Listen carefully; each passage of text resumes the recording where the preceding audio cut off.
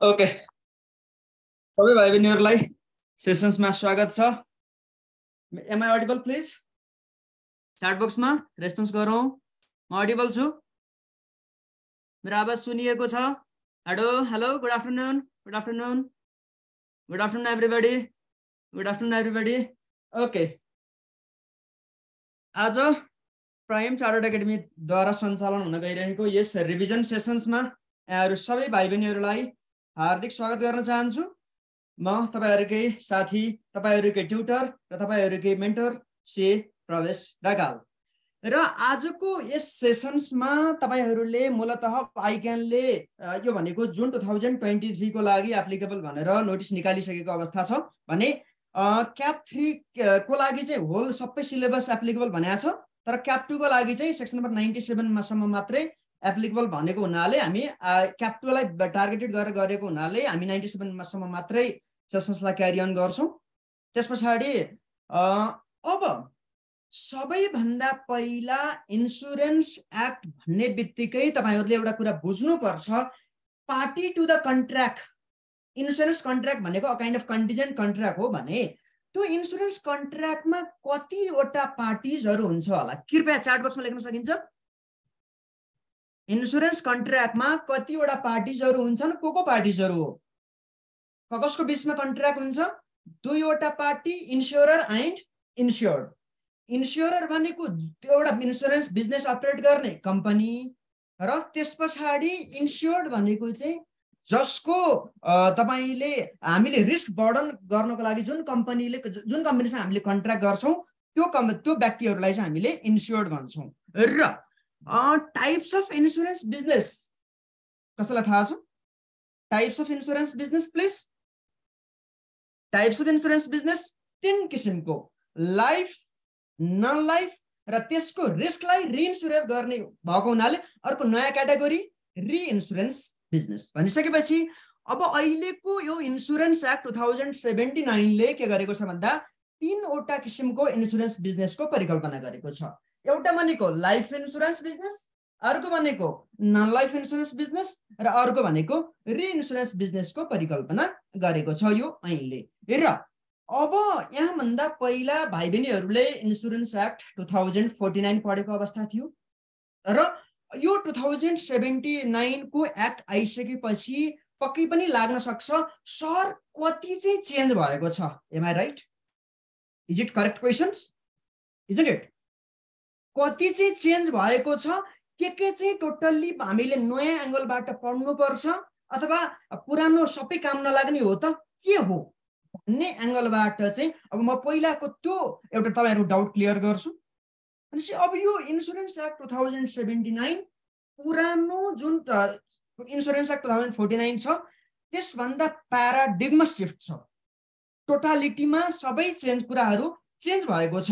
त्यही भएको हुनाले मेरो पहिलो रिक्वेस्ट तपाईँहरूलाई के हो भने insurance act two thousand forty नाइनको कन्सेप्टहरू तपाईँहरू दिमागबाट वाइप आउट गर्नु पर्यो र त्यस पछाडि अर्को एस्पेक्ट भनेको चाहिँ जब अब त्यो insurance act two thousand forty nine अन्तर्गतको जुन बिमा समिति भन्ने थियो फन्डामेन्टल एस्पेक्ट बुझ्न जरुरी छ।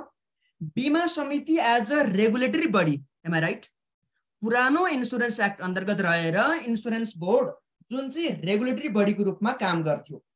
अब यो नयाँ एक्ट आइसकेपछि त्यही जुन बिमा समिति छ त्यही बिमा समितिलाई नै नाम चेन्ज गरेर के राखिएको छ भन्दा Nepal insurance authority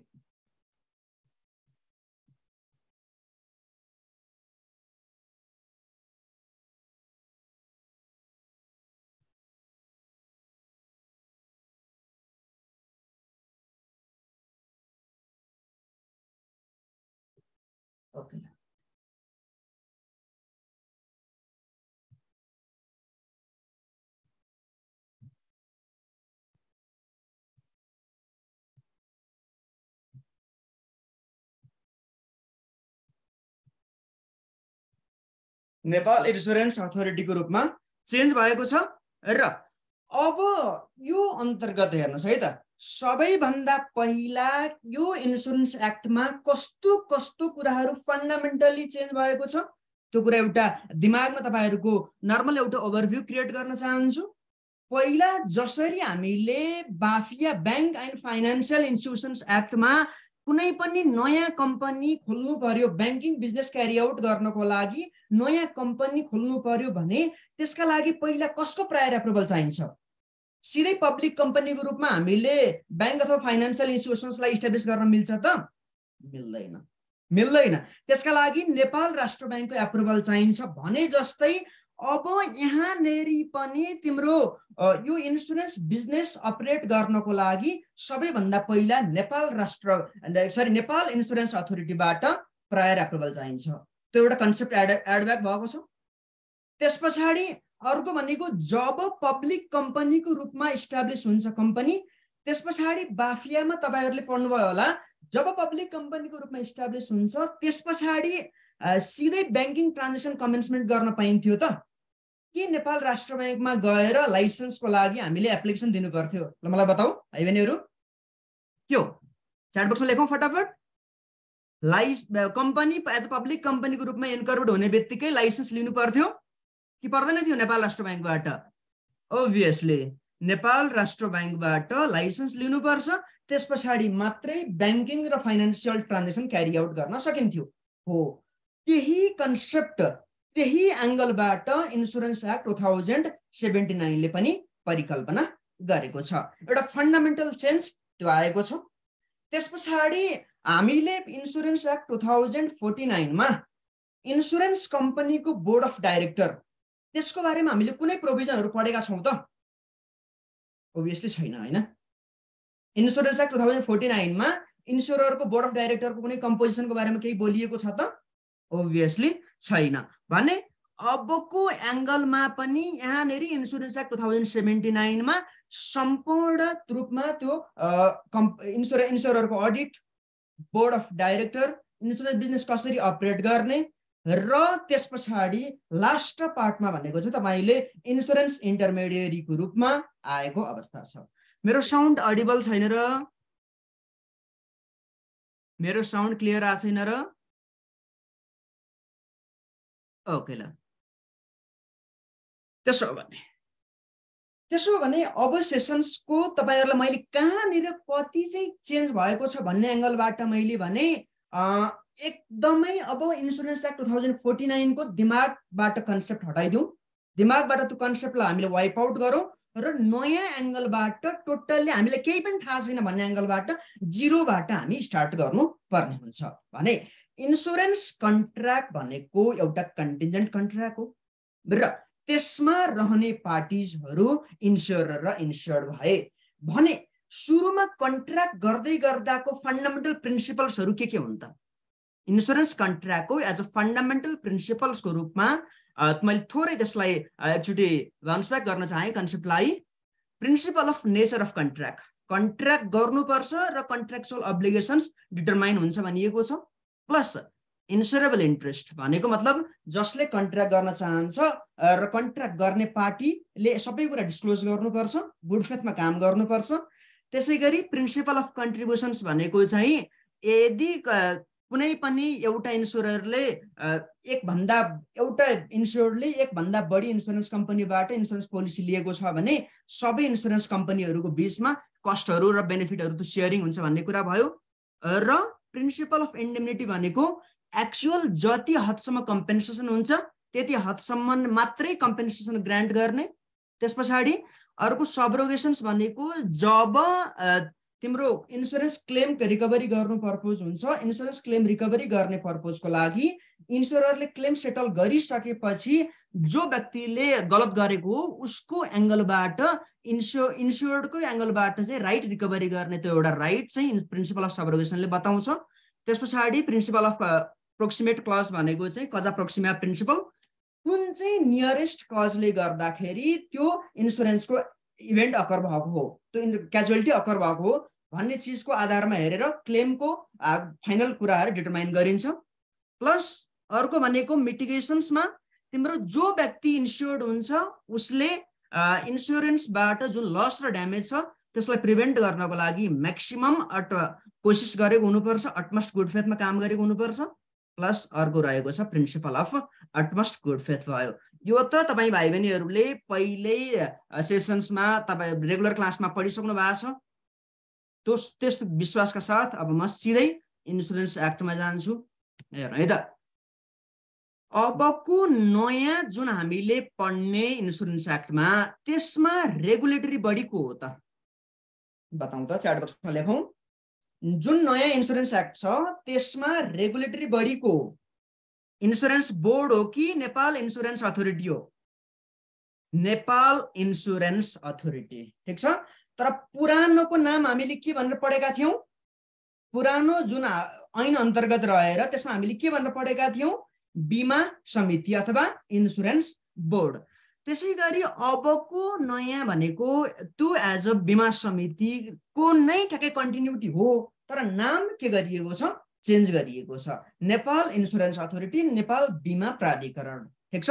र सबैभन्दा पहिला नेपाल बिमा प्राधिकरण जुन एनआइए छ नेपाल इन्सुरेन्स अथोरिटी त्यो कर्पोरेट र अटोनोमस बडी हो कि होइन?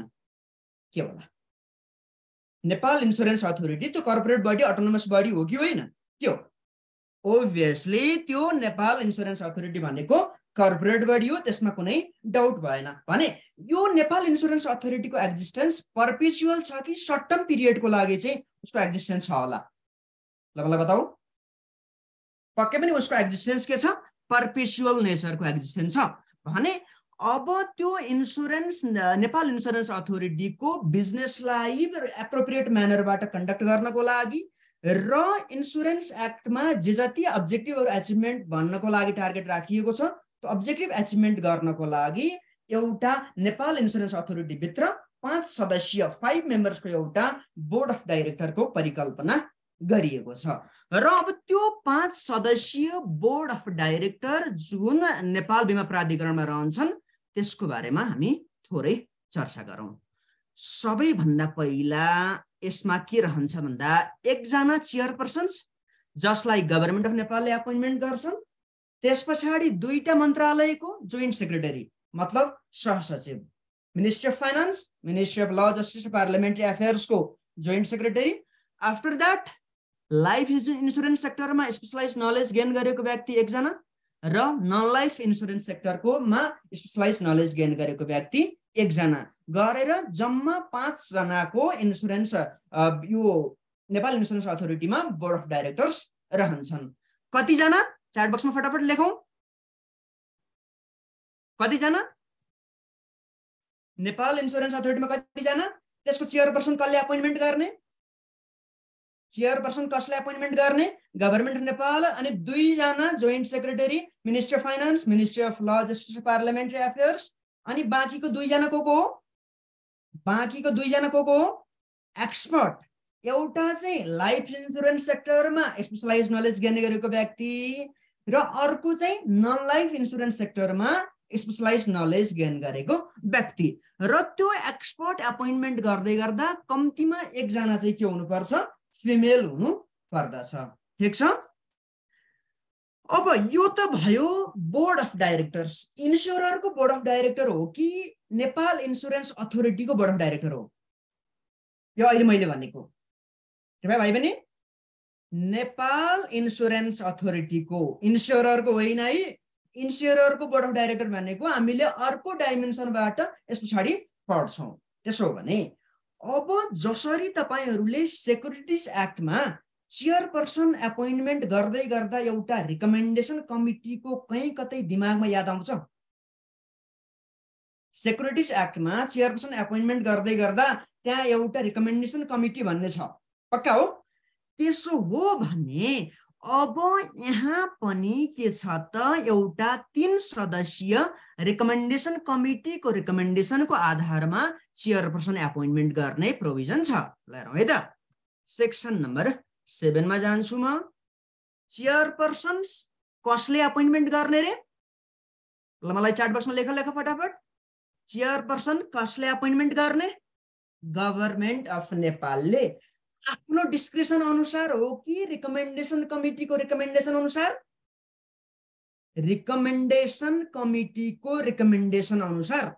र त्यो रिकमेन्डेसन कमिटीले कतिजना व्यक्तिलाई रिकमेन्ड गर्नु पर्यो त? भन्दा तिनजना व्यक्ति जुन चाहिँ क्वालिफाइड हुन्छ नि कि डिस्क्वालिफाइड पर्सन्सलाई एपोइन्टमेन्ट गर्नुपर्छ रिकमेन्ड गर्नुपर्छ। क्वालिफाइड कि डिस्क्वालिफाइड पक्कै पनि क्वालिफाइड पर्सन्सलाई एपोइन्टमेन्ट गर्नुपर्छ।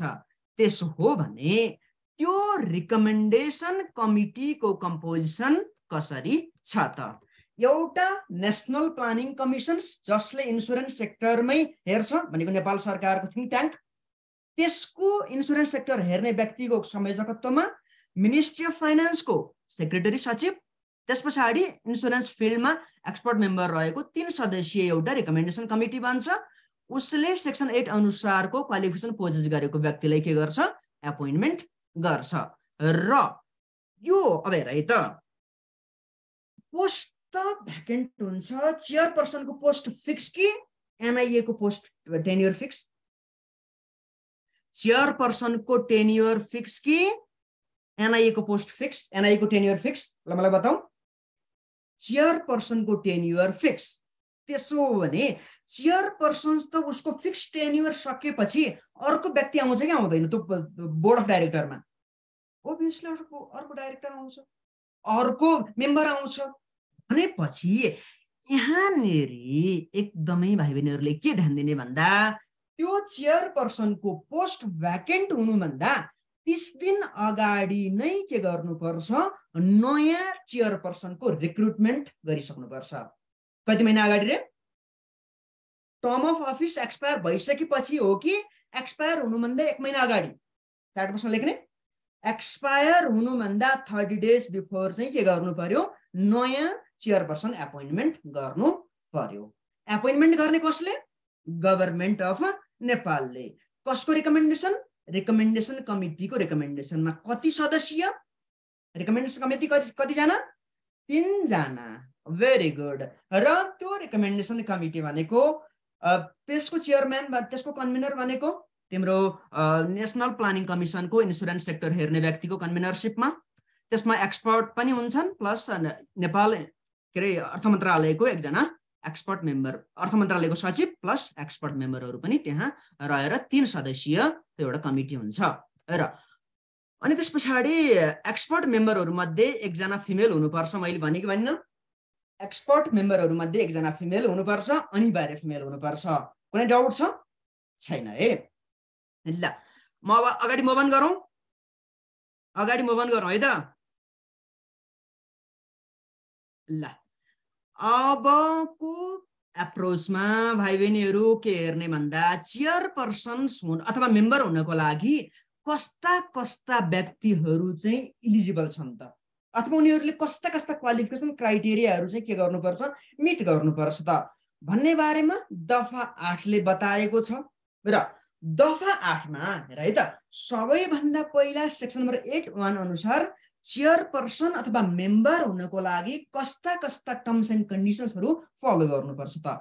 पहिलो क्वालिफिकेसन क्राइटेरिया भनेको कम्तीमा मास्टर्स डिग्री एटेन्डेन्ट गरेको हुनुपर्छ। यहाँ सब्जेक्टको नामहरू दिइएको छ जस्तो commerce monetary banking sector financial sector insurance public administration statistics math economics management law and at least five years of work experience of high managerial work in the concern field concern फिल्डमा managerial level अथवा त्योभन्दा माथिल्लो फिल्डमा काम गरेको work experience plus at least master degree हुनुपर्छ र high moral character पनि हुनु पर्यो प्लस सेक्सन एट थ्री अनुसारको हो डिस्क्वालिफाई पनि हुनु हुँदैन। त्यसो हो भने यो सब्जेक्ट यो जुन सब्जेक्टको नामहरू दिइएको छ यो सम्झिनको लागि यहाँ थोरै निमोनिक्स टेक्निक्सहरू पनि दिइएको छ हेर्दा। CM of BAFIA paper two and three of CAP one मतलब पेपर टू र थ्री के हो क्याप वानको ल इकोनोमिक्स म्यानेजमेन्ट म्याथमेटिक्स त्यस पछाडि स्ट्याटिक्स त्यस पछाडि अरू भनेको चाहिँ जस्तो अब सिएम भनेको commerce monetary banking financial insurance public administrations यो सब्जेक्टहरूमा मास्टर डिग्री एटेन्डमेन्ट गरेको हुनु पर्यो हाई मोरल क्यारेक्टर हुनुपर्छ त्यस पछाडि र त्यो व्यक्ति डिस्क्वालिफाइड भएको हुनु हुँदैन। कुन कुन कन्डिसन्स चाहिँ क्वालिफिकेसनको एकचोटि एकचोटि रिक्याप गरेर एकचोटि रिक्याप गरेर कुन कुन कन्डिसन्स क्वालिफिकेसनको एजुकेसन क्वालिफिकेसन कति? Education qualification masters degree plus work experience कति त? फाइभ इयर्स त्यहाँ आइन्ड हो कि अरू हो भाइ बहिनी आइन्ड हो कि अरू education qualification at least masters degree prescribe subject मैले भने। त्यस पछाडि वर्किङ एक्सपिरियन्स के हुनुपर्छ? कम्तीमा फाइभ इयर्सको र अनि ऊ हाई मोरल क्यारेक्टर हुनुपर्छ पर्दैन। त्यो व्यक्तिको हाई मोरल क्यारेक्टर हुनुपर्छ पर्दैन। ओभियसली पर्छ। र सुरुमै डिस्क्वालिफाइड पर्सन्सलाई एपोइन्टमेन्ट गर्ने हो त। होइन होला। सुरुमै डिस्क्वालिफिकेसन डिस्क्वालिफाइड पर्सन्सलाई एपोइन्टमेन्ट गर्ने होइन। ओके त्यसो भने कुन कुन कन्डिसनमा मेम्बर अथवा चेयरपर्सन चाहिँ एपोइन्टमेन्ट हुनको लागि इलिजिबल हुँदैनन् त? अब त्यो पाटो हेरौँ। Following person shall not eligible to be appointed in the post of chairman or member of the board एउटा त अनिवार्य नेपाली नागरिक हुनु पर्यो। यदि कोही व्यक्ति नन नेपाली सिटिजन छ भने ऊ चेयरपर्सन अथवा मेम्बर हुन सक्दैन फर्स्ट अफ अल त्यस पछाडि कोही व्यक्ति इन्स्योरमा अफिसर छ डाइरेक्टर छ कन्सल्टेन्ट छ र इन्कुमेन्ट इम्प्लोइ छ इन्स्योररको भने त्यो व्यक्ति पनि एपोइन्टमेन्ट हुन पाएन भनेपछि non Nepali citizens officer director consultant of the insurer र अर्को व्यक्ति भनेको चाहिँ यदि कुनै पनि व्यक्ति अथवा उसको फ्यामिली मेम्बरको सब्सटेन्सियल सेयर होल्डिङ छ अथवा फाइनेन्सियल इन्ट्रेस्ट छ कुनै पनि इन्स्योररमा अथवा त्यो कुनै पनि इन्सुरेन्स कम्पनीले अर्को कम्पनीमा इन्भेस्टमेन्ट गरेको छ जहाँ चाहिँ उसको फाइनेन्सियल इन्ट्रेस्ट पनि जोडिएको छ र त्यो व्यक्ति आफैमा सब्सटेन्सियल सेयर होल्डिङ हो जहाँ चाहिँ इन्सुररको फाइनेन्सियल इन्ट्रेस्ट छ भने त्यो व्यक्तिहरू पनि के हुन पाउँदैनन्? चेयरपर्सन अथवा मेम्बर हुन पाउँदैनन्। भनिसकेपछि एउटा भनेको नन नेप्ली सिटिजन्स अर्को भनेको इन्स्योररको office bearer director कन्सल्टेन्टहरू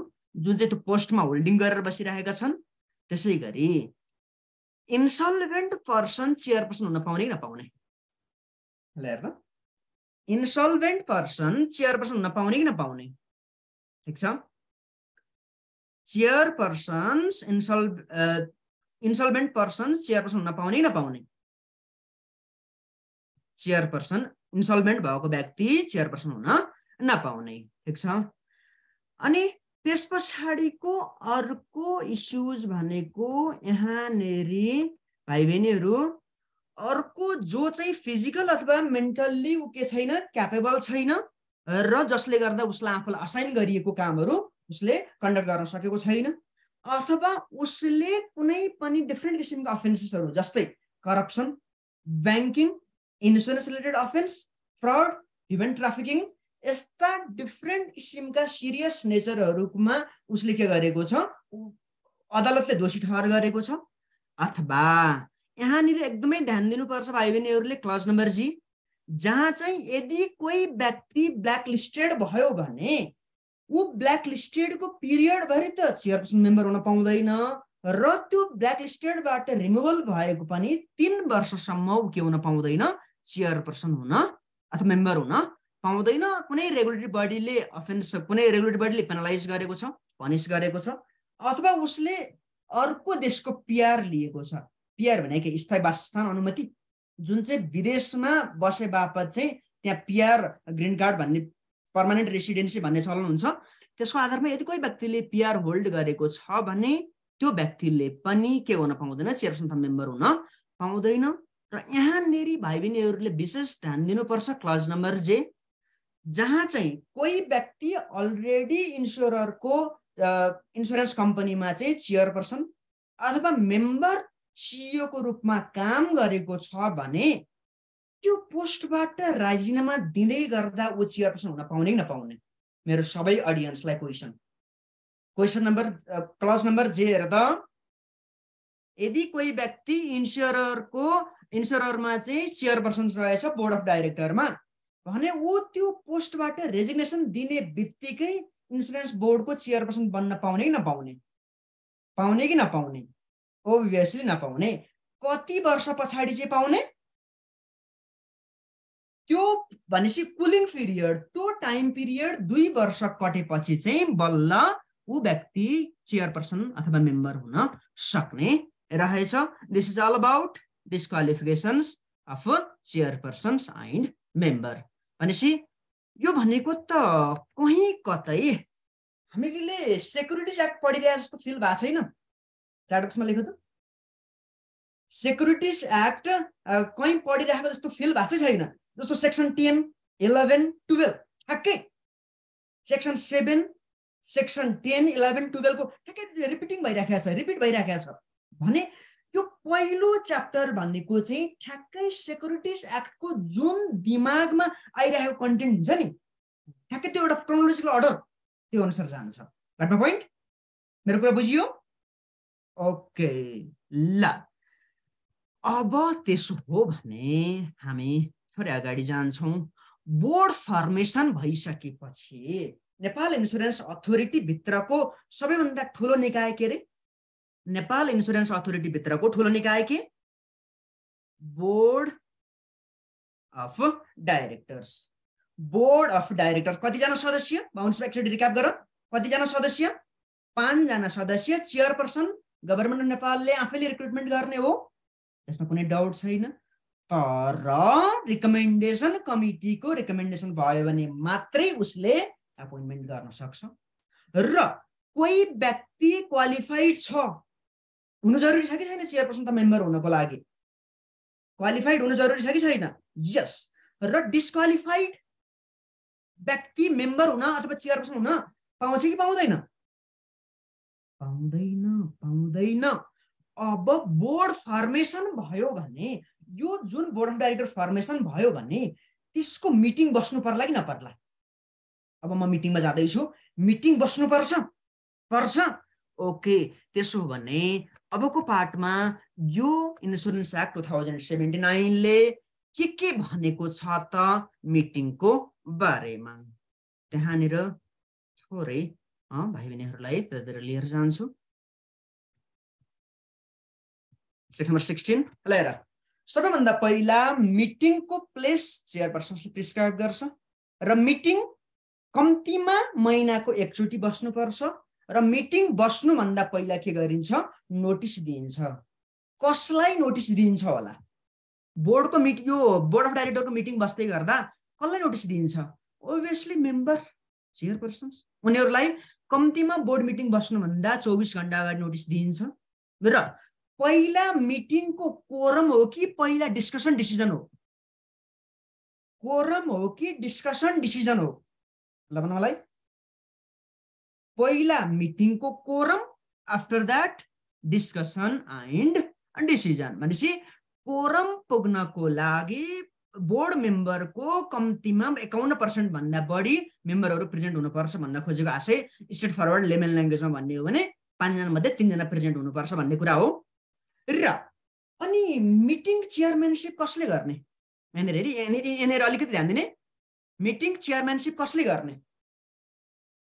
meeting chairmanship पक्कै पनि चेयरपर्सन्सले उसको एब्सेन्टिजममा उसको एब्सेन्टिजममा बोर्डमा भएका सिनियर मेम्बरहरू मध्येबाट एकजना भनेपछि जस्तो अहिले तिम्रो पार्लियामेन्टले पार्लियामेन्ट सुन सुन म सिनियर भनेको के हो म भन्छु। पार्लियामेन्टमा सभामुख हुनुभन्दा पहिला त्यहाँको मिटिङ चेयर गर्ने व्यक्ति कसले कसले गर्छ होला पार्लियामेन्टमा त्यहाँको ज्येष्ठ सदस्य। त्यहाँको ज्येष्ठ सदस्य। जो चाहिँ इल्डर एज भएको व्यक्ति हुन्छ। हो। ठ्याक्कै ठ्याक्कै त्यही प्रोभिजन चाहिँ यहाँनिर एप्लिकेबल हो। सिनियर मेम्बर भनेको अब त्यहाँ नर्मल थ्रेसोल्ड भनेको चाहिँ सामान्यतया एजको आधारमा चाहिँ को व्यक्ति सिनियर भन्ने हुन्छ। ठिक छ? अब यहाँनिर क्लासमा आइसकेपछि को चाहिँ सिनियर को चाहिँ जुनियर? त्यो हो त। तिमीहरू यहाँ क्लासमा छौ। को चाहिँ सिनियर को चाहिँ जुनियर केही छ त्यस्तो? क्लासमा आइसकेपछि कोही सिनियर कोही जुनियर छौ? सबै एक सय एक हो। एमआई राइट तिम्रो लागि तिमी कति हो? वान तिम्रो लागि तिमी कति हो? वान मेहनत कति गर्ने? हन्ड्रेड पर्सेन्टेज एमआई राइट मेहनत कति गर्ने? हन्ड्रेड गर्ने। जे काम गरिन्छ सिद्धतका साथ। आज कि भोलि। आज कि भोलि। अहिले आज होइन अहिले हो भनिसकेपछि जब जुनै काम तिमीले हन्ड्रेड पर्सेन्टका साथ सिद्धतका साथ गर्छौ नि ओभियसली तिमी डेस्टिनी तिम्रो गन्तव्यमा पुग्छौ। त्यही भएको हुनाले अहिले आफ्नो लागि मेरो लागि कि तिम्रो लागि? मेरो लागि कि तिम्रो लागि? ओभियसली तिम्रो आफ्नो पर्पजको लागि। त्यही भएको हुनाले मेहनत गर हन्ड्रेड पर्सेन्टेज गर र सफलता अवश्यम्भावी तिम्रो हात लाग्नै छ भन्ने मोटिभेसनका थटका साथ फेरि ससलाई म क्यारी आउट गर्ने अनुमति चाहन्छु। र सिनियर मेम्बर बोर्ड मेम्बरको यदि चेयरपर्सनको प्रेजेन्ट छैन भने चाहिँ सिनियर मेम्बरले त्यो मिटिङ चेयर गर्छ भन्ने कुरा भयो। र डिसिजन गर्दै गर्दा मेजोरिटीको ओपिनियन प्रिभेल गर्छ। र यदि टाई भयो भने जसले मिटिङ चेयर गरेको हो उसले डिसी भोट कास्ट गर्दछ। र अब यहाँनिर मेम्बरले पनि मिटिङ रिक्वेस्ट गर्ने यहाँ कुरा राखिएको छ एक्टमा कतिजना मेम्बरले रिक्वेस्ट गर्यो भने चाहिँ मिटिङ यहाँनिर रिक्वेस्ट गर्न सक्ने अथोरिटी छ त पावर दिएको छ कानुनले। ल एटलिस्ट थ्री मेम्बर्सले रिक्वेस्ट गर्यो भने त्यो बेलामा चेयरपर्सन छ भने चेयरपर्सन छैन भने सिनियर मेम्बरले कम्तीमा त्यो एप्लिकेसन परेको सात दिनभित्रमा चाहिँ त्यो बोर्ड मिटिङ कल गर्नु पर्दछ। र यो डिसिजनलाई सेपरेट माइनोट बुकमा राख्नु पर्यो र यदि माइनोट बुकमा सम्पूर्ण व्यक्तिहरूले के गर्नुपर्छ? सिग्नेचर गर्नुपर्छ र यहाँनिर थोरै कन्टेन्ट सेयरिङ गर्ने भन्ने कुरा भाइ बहिनीहरूले भनिराखेको छौ। ओके त्यसमा नो इस्यु है त्यसमा म तिमीहरूलाई अहिले नै यहाँ च्याट बक्समा कन्टेन्ट सेयर गरिदिइहाल्छु।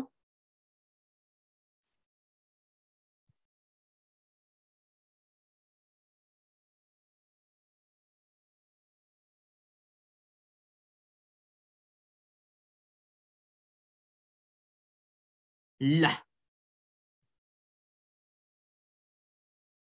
आयो सबैलाई एक्सेसमा आयो? सबैको एक्सेसमा आयो? ओके ल। ठिक छ। त्यसो भने अब बोर्ड मिटिङ पनि हामीले भन्यौँ। त्यसो भने अब भाइ बहिनीहरू बोर्ड मिटिङ सँगसँगै अब हामी अगाडि मुभ हुनुपर्छ। कुन कुन सिचुएसनमा चाहिँ चेयरपर्सन अथवा मेम्बरहरूको रिमुभल हुन्छ त्यसको बारेमा हामी थोरै डिस्कसन गरौँ। अब जसरी सेक्युरिटिज एक्टमा सेक्सन नम्बर टुवेल्भमा चेयरपर्सन अथवा मेम्बरको रिमुभलको कुरा गरिएको थियो त्यसै गरी तिम्रो यहाँ पनि सेक्सन नम्बर टुवेल्भले के गरेको छ त? कुन कुन सिचुएसन्समा र कसरी मेम्बर अथवा चेयरपर्सन्सहरूको पोस्ट भ्याकेन्ट हुन्छ? कसरी चाहिँ तिनीहरूले आफ्नो पोस्ट डिस्कन्टिन्यू गर्न कुन कुन सिचुएसनमा चाहिँ डिस्कन्टिन्यू गर्न सक्छन् त? सबैभन्दा पहिलो सिचुएसन्स रेजिग्नेसन दिने। अर्को भनेको यदि कोही व्यक्ति सेक्सन एट थ्री अनुसार पोस्ट डिस्क्वालिफाई भयो। जुन मैले अघि नै डिस्क्वालिफिकेसनको क्राइटेरिया बताइसकेँ अब यदि त्यो डिस्क्वालिफिकेसन पछि सब्सिक्वेन्टली देखियो भने चाहिँ उनीहरू चेयरपर्सन अथवा मेम्बरको रूपमा कन्टिन्यू गर्न सक्दैनन्। त्यस पछाडि गभर्मेन्ट अफ नेपालले पनि हटाउन सक्छ तर विशेष कारण देखियो भने एउटा भनेको मिसकन्डक्ट कुनै पनि आफूलाई तोकिएको कोड अफ कन्डक्ट भायोलेसन गरियो डिसिप्लिनभित्र बसेन अर्को भनेको चाहिँ आफूलाई जुन कार्य दिएको थियो त्यो काम गर्न क्यापेबल भएन। अथवा उसँग त्यो क्यापेबिलिटी छैन र आफूलाई आफ्नो पोस्ट अनुसारको जुन कामहरू गर्नु पर्थ्यो त्यो काम गर्न उसले सकेन गरेन सकेन मिसकन्डक्ट भयो भने त्यो सिचुएसनमा गभर्मेन्ट अफ नेपालले हटाउँछ। अब सेक्युरिटिज एक्टमा तिमीहरूले इन्सुरेन्स सरी सेक्युरिटिज एक्टमा तिमीहरूले के भन्दाखेरि त्यो चेयरपर्सन मेम्बर हटाउनको लागि कुन कमिटीको परिकल्पना गरेका थियौ? त्यस्तो केही छ? फाइल सेभन सुरुको पार्ट सेभन त्यस पछाडिको पार्ट ठ्याक्कै तिम्रो बाफिएको कन्सेप्टसँग म्याचअप हुन्छ म्याच हुन्छ हो। हो भनेपछि ठ्याक्कै यहाँनिर ल है त अब। गभर्मेन्ट अफ नेपालले क्लज सीको रिजन अनुसार हटाउने हो भने एउटा इन्भेस्टिगेसन कमिटी अथवा सिम्पली यसलाई इन्क्वायरी कमिटी भन्न पनि सकियो। अब त्यो इन्क्वायरी कमिटी अथवा इन्भेस्टिगेसन्स कमिटी जेसुकै नभन त्यसमा चाहिँ तिन सदस्य हुन्छ। एउटा भनेको चाहिँ गभर्मेन्ट नेपालले जो चाहिँ हाइकोर्टको रिटायर जज छ त्यस पछाडि फेरि दुईजना एक्सपर्ट मेम्बर जसले चाहिँ कम्तीमा मास्टर डिग्री एटेन्डमेन्ट गरेको छ र दस वर्षको वर्क एक्सपिरियन्स छ भने ठ्याक्कै इन्भेस्टिगेसन्स कमिटी तिन सदस्यीय यसरी बन्ने छ र अब कोही व्यक्तिलाई कन्डिसन्स फर रिमुभल जब एक्जिस्ट हुन्छ नि उसले त्यो आफ्नो पोस्टमा क्यारियन गर्न पाउँछ काम गर्न दिँदाखेरि हो कि के होला? भनेपछि उसको पोस्ट के हुन्छ? अटोमेटिकल्ली सस्पेन्सन हुन्छ फाइल ओपन भइरहेका छैन र भाइ बहिनीहरू।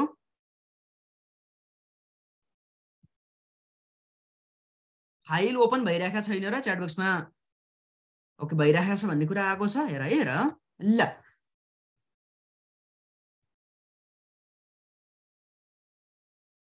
त्यस पछाडि अब इन्क्वायरी कमिटीले आफ्नो रिकमेन्डेसनको आधारमा इन्भेस्टिगेसन्सको काम कम्प्लिट गर्छ र इन्भेस्टिगेसनको काम कम्प्लिट गरिसकेपछि त्यसको रिपोर्ट गभर्मेन्ट अफ नेपाललाई दिन्छ र गभर्मेन्ट अफ नेपाललाई दिइसकेपछि गभर्मेन्ट अफ नेपालले त्यसको आधारमा के गर्छ उसलाई हटाउने हो। र अब यहाँनिर अब माथि मैले अहिलेसम्म तिमीहरूलाई बोर्डको फर्मेसन्सको बारेमा बताएँ त्यहाँभित्र बोर्ड अफ डाइरेक्टरको। अनि ओभरअल नेपाल इन्सुरेन्स अथोरिटीले के काम गर्ने? ठिक छ? त्यसमा चाहिँ अब यहाँनिर थ्योरिटिकल पोइन्ट्सहरू छन् भाइ बहिनीहरू होइन? त्यसलाई चाहिँ मैले जस्ट अब इज आउट हुनको लागि सजिलो होस् होला तिमीहरूलाई सम्झिनको लागि भनेर मेमोरी टिप्स पनि राखिदिएको छु। जस्तो नेपाल इन्सुरेन्स अथोरिटीले गर्ने काम भनेको पहिला गभर्मेन्टसँग कनेक्टेड भएको एउटा त गभर्मेन्ट अफ नेपाललाई इन्सुरेन्स रिलेटेड टर्म्स एन्ड कन्डिसन्समा एडभाइस दिने। अर्को देशको राष्ट्रिय नीति इन्सुरेन्सको नीति के हो त? त्यसको बारेमा नेपाल सरकारलाई पनि रिकमेन्ड गर्ने। अर्को भनेको इन्टरनेसनल अथोरिटीमा इन्टरनेसनल फोरमहरूमा बिमा सम्बन्धी कुनै इस्युजहरू छन् भने नेपाल सरकारलाई रिप्रेजेन्ट गरेर यो नेपाल इन्सुरेन्स अथोरिटीले त्यहाँ जाने भयो। अर्को मैले लाइसेन्सिङ र इनकर्पोरेसनको लागि कुन एक्टसँग हामीले दिमाग टाइअप गर्नुपर्छ मैले भनेको थिएँ। ल प्रायर एप्रुभल जुन इन्कर्पोरेसनको लागि अथवा लाइसेन्सिङको लागि मैले कुन एक्टसँग चाहिँ भाइ बहिनीहरूले दिमाग त्यहाँ ट्युनिङ गर्नुपर्छ भनेको थिएँ? बाफियासँग। भेरी गुड भेरी गुड बाफियासँग भनेको थिएँ। भनेपछि यो प्रायर एप्रुभल दिने लाइसेन्सिङ इस्यु गर्ने यो सम्पूर्ण कामहरू कसको हुनुपर्छ? ओबिएसले रिमाइ रिमाइन्डर गर्दा इन्सुरेन्स बिजनेस गर्नको लागि इन्सुररहरूलाई एप्रुभल दिने लाइसेन्सिङ खारेज गर्ने अथवा त्यसको रिन्युअल सम्पूर्ण जिम्मा कसको हो ओभियसली एनआइएको अनि गभर्मेन्ट अफ नेपाललाई एडभाइस दिने इन्सुरेन्स रिलेटेड काम इन्टरनेसनल एरेनामा रिप्रेजेन्ट गर्ने त्यो पनि सबै एनआइएको काम नो डाउट छवटा पोइन्ट त हामीले क्लियरली हाँस्दै हाँस्दै यहाँ याद गरिसक्यौँ ओके अब अर्को इन्सुरेन्स बिजनेस कन्डक्ट गर्नको लागि है त इन्सुररको एक्टिभिटी पुरानो एक्ट सोध्दैन भाइ बहिनी है त पुरानो एक्ट सोध्दैन नयाँ एक्टबाटै अपडेट हुने किन अस्ति भर्खर अब आइक्यानको नोटिफिकेसन आइसकेको छ अर्को अब इन्सुरेन्स बिजनेस कन्डक्ट गर्नको लागि स्केल म्यान पावर कसरी प्रोडक्सन गर्ने त्यसको बारेमा पनि प्रोग्राम पोलिसीहरू ड्र गर्छ अर्को भनेको नयाँ इन्सुरेन्स बिजनेसलाई कसरी एक्सपान्सन गर्ने बिजनेस कसरी ग्रो गर्ने त्यसको लागि पनि रिसर्च स्टडी रिपोर्टहरू उसले गर्छ त्यस पछाडि अर्को भनेको अब माइक्रो इन्सुरेन्सको लागि पनि उसले फेसिलिटेसन गर्छ र रेगुलेटरी बडी एउटा भनेको चाहिँ अब इन्सुरेन्स बिजनेस कन्डक्ट गर्नको लागि रेगुलरली बाहिर ल डाइरेक्टिभ्स गाइडलाइनहरू इस्यु गर्ने भयो। इन्सुररको क्यापिटल क्यापिटल फन्ड त्यस पछाडि इन्सुरेन्स बिजनेसलाई रेगुलेट सिस्टमेटाइज र रेगुलेट बनाउनको लागि उसले time and again necessary program डाइरेक्सनहरू दिन्छ। भनिसकेपछि अहिलेसम्म मैले तिमीहरूलाई कुन कुन एङ्गलबाट एनआइएले गर्ने कामको बारेमा बताएँ? एउटा भनेको गभर्मेन्ट अफ नेपाललाई रिप्रेजेन्ट गर्ने अर्को लाइसेन्सिङ प्रायर एप्रुभल अर्को भनेको इन्सुरेन्स बिजनेस रिलेटेड एक्टिभिटी र अर्को भनेको रेगुलेटरी एस्पेक्टबाट पनि मैले तिमीहरूलाई यहाँनिर कुराहरू बताएँ। यो त भयो इन्सुरेन्स नेपाल इन्सुरेन्स अथोरिटीको काम कर्तव्य र अधिकार। ठिक छ? त्यसो भने यो एनआइएको आफ्नो फन्ड हुन्छ कि हुँदैन होला ल बताउ त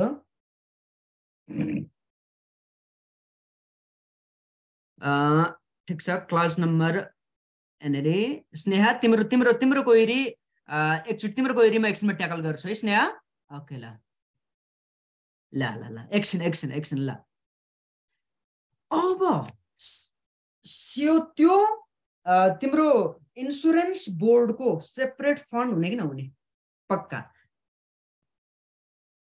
बिस बिसमा जति तिमीलाई सेक्सन चाहिन्छ त्यो सबै कन्टेन्टहरू यहाँ राखिएको छ। फास्ट भयो। हेर त हामीले एमेन्डमेन्ट रिभिजन सेसन्सहरू राखिराखेका छौँ। ठिक छ ल ठिक छ। ल। अब इन्सुरेन्स नेपाल इन्सुरेन्स अथोरिटीको त्यहाँ फन्डको परिकल्पना गरिएको छ। त्यसो भने अबको पालो फन्ड अकाउन्ट अडिटमा हामी जान्छौँ।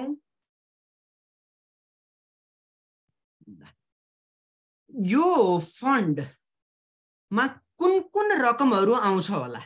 कुनै दिमाग लगाउँछौ तिमीहरूले? यस गर्छौ? यो इन्सुरेन्स अथोरिटीको फन्डमा कुन कुन सोर्सबाट चाहिँ रकमहरू आउँछन् होला? Government of Nepal. Government of Nepal त्यस पछाडि licensing fee prior approval fee पक्का हो? प्रायर एप्रुभल फी रजिस्ट्रेसन चार्जेसहरू फाइन पेनाल्टी ओके रेगुलेटरी फीहरू भनिराखेका छौ। त्यसमा कुनै डाउट भएन रिन्युअल फी ल।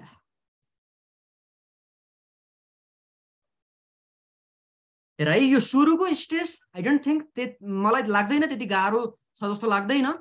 तर यस पछाडिका पाटोहरू अझ बढी ट्रिगर छ बढी दिमागमा ध्यान दिनुपर्ने कुराहरू छन् है त?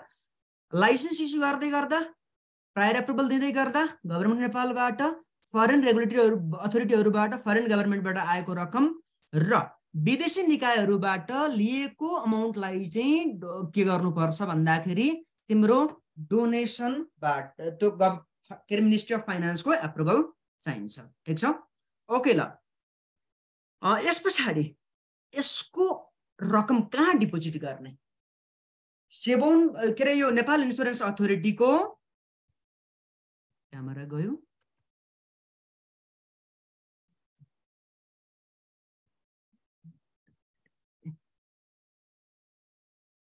थोरै यहाँ क्यामेरामा थोरै इस्युज जस्तो छ। एक मिनट है त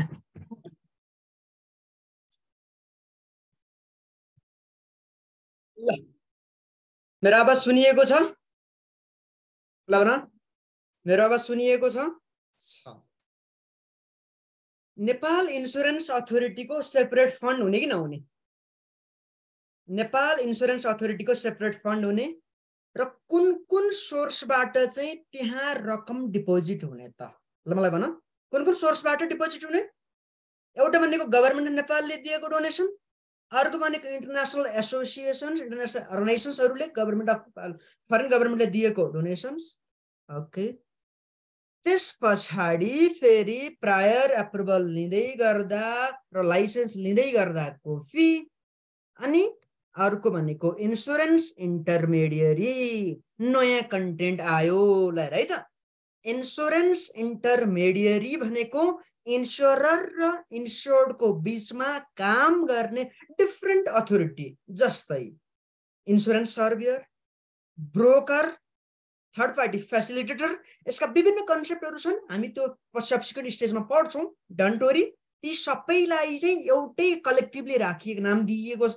त्यो भनेको चाहिँ इन्सुरेन्स इन्टरमिडियरी र यो रेगुलेसन्स गर्दै गर्दा जे जति रेगुलेसन्स फीहरू हुन्छ र अब तिमीहरूले सेबुन अथवा आइक्यानको फी कहाँ जम्मा गर्ने भनेका छौ?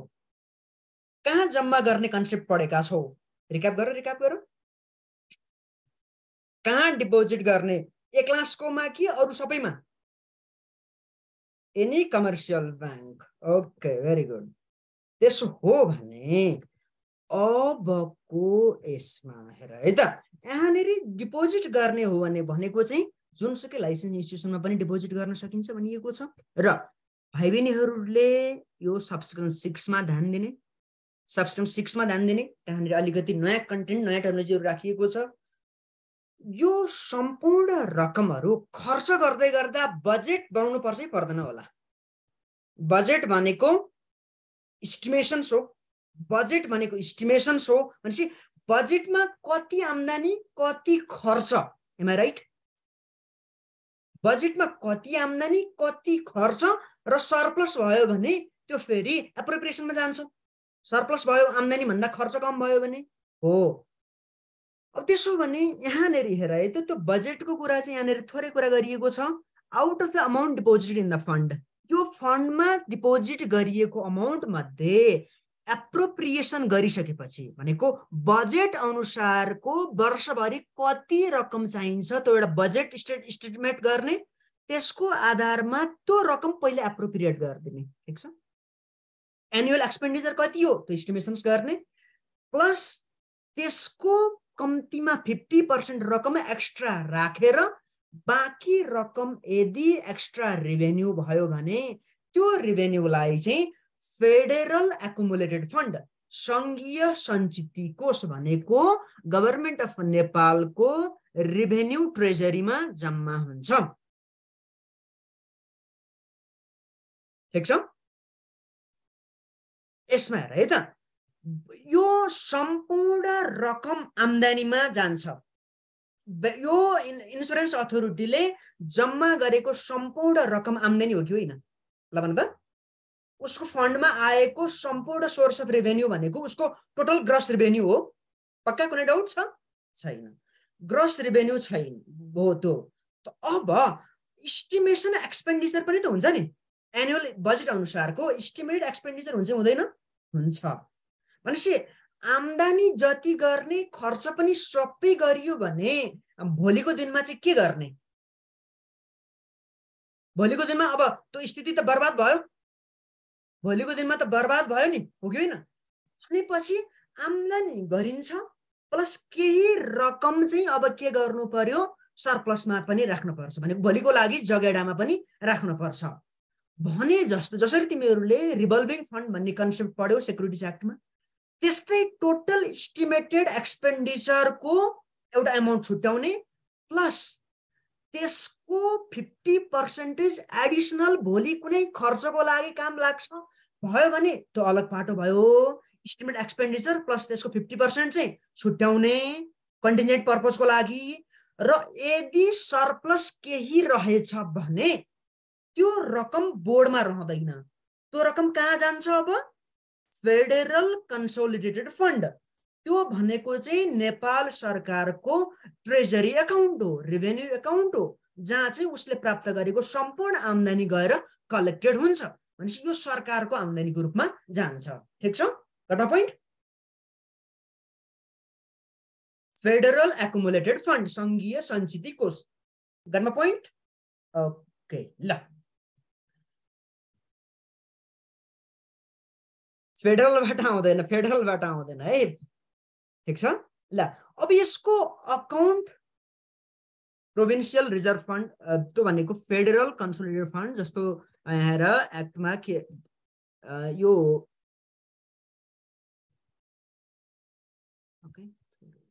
वेट मिनट है।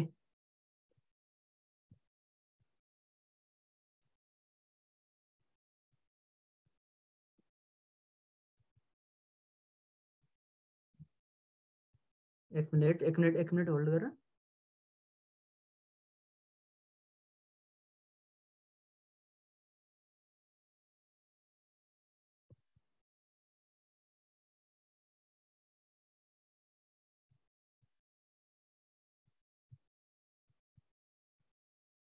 सङ्घीय सञ्चित कोषमा दाखिला गरिने भनेको छौँ। सङ्घीय सञ्चित कोषमा दाखिला गर्ने फेडरल एकोमोडेटेड फन्ड कुनै डाउट भएन। अब खर्च गरिसकेपछि बुक्स अफ एकाउन्ट बन्नुपर्छ कि पर्दैन होला?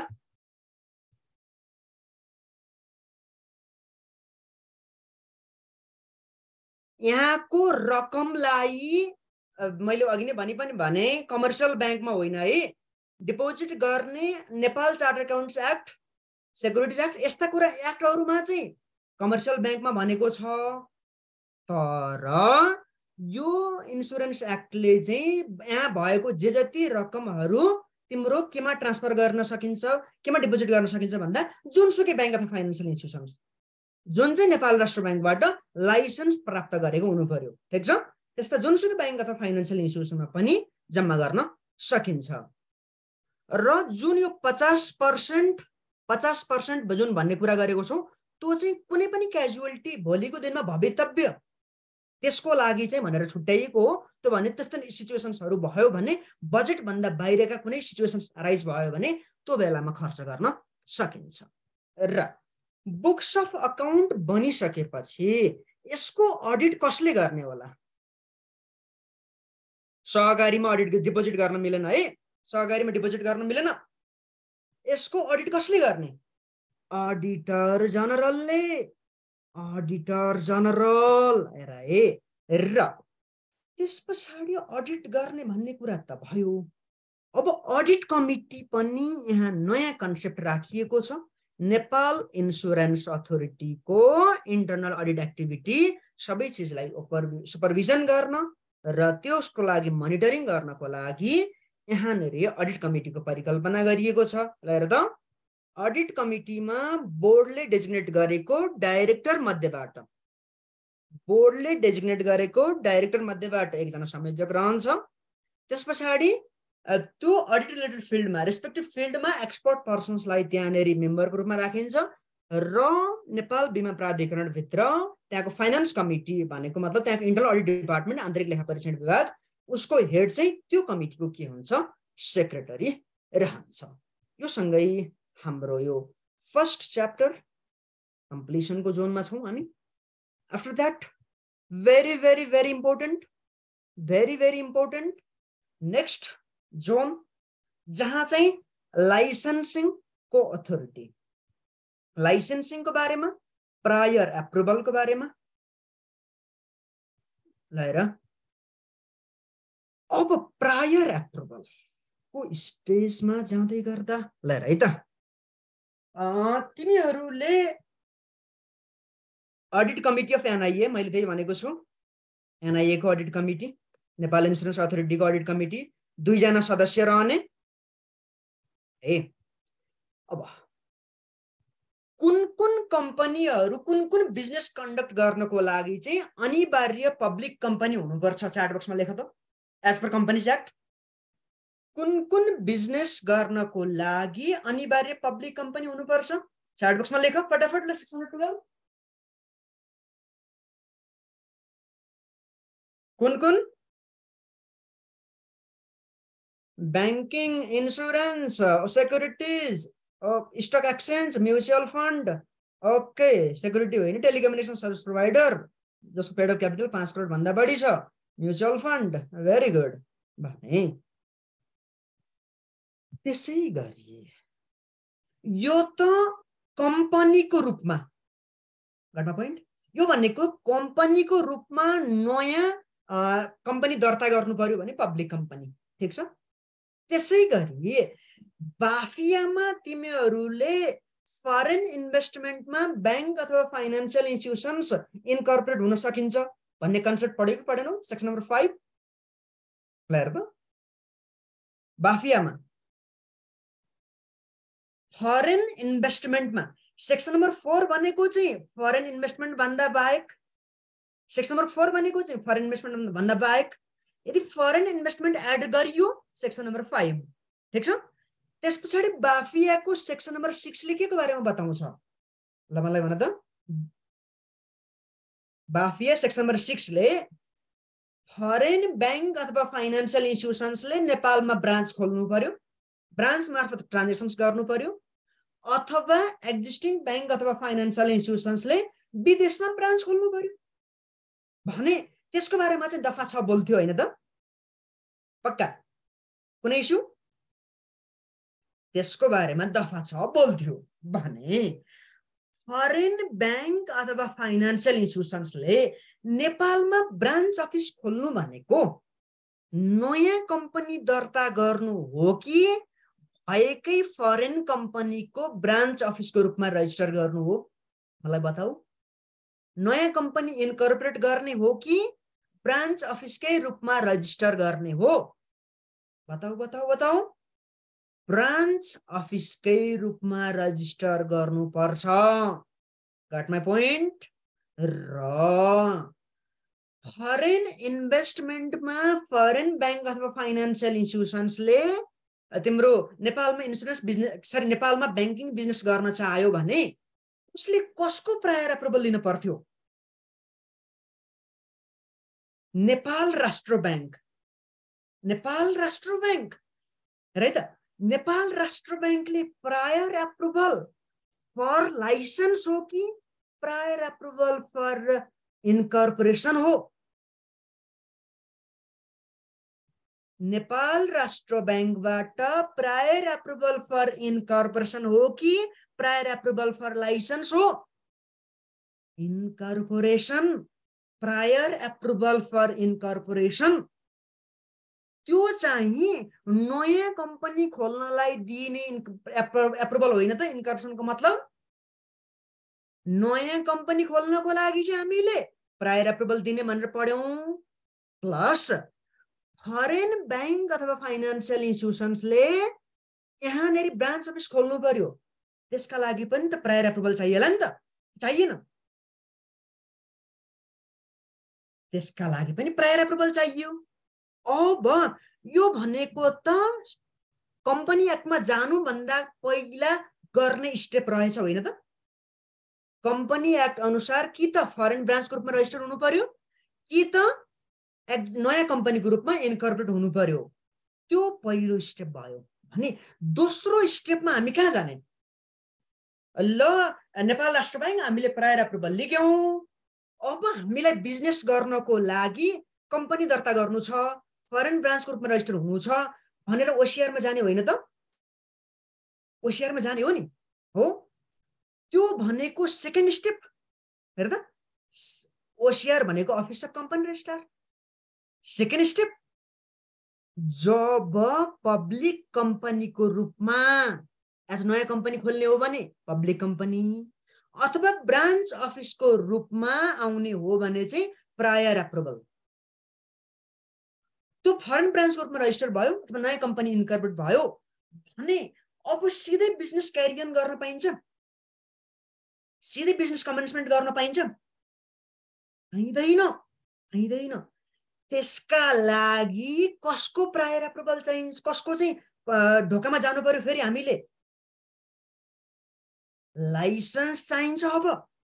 लाइसेन्स चाहिन्छ। लाइसेन्सको लागि कहाँ जानु पर्यो? एनआरबीमा जानु पर्यो। र मैले बाफियाको कन्सेप्टलाई रिभाइभ गरिराखेको छु है। एनआरबीमा जानु पर्यो।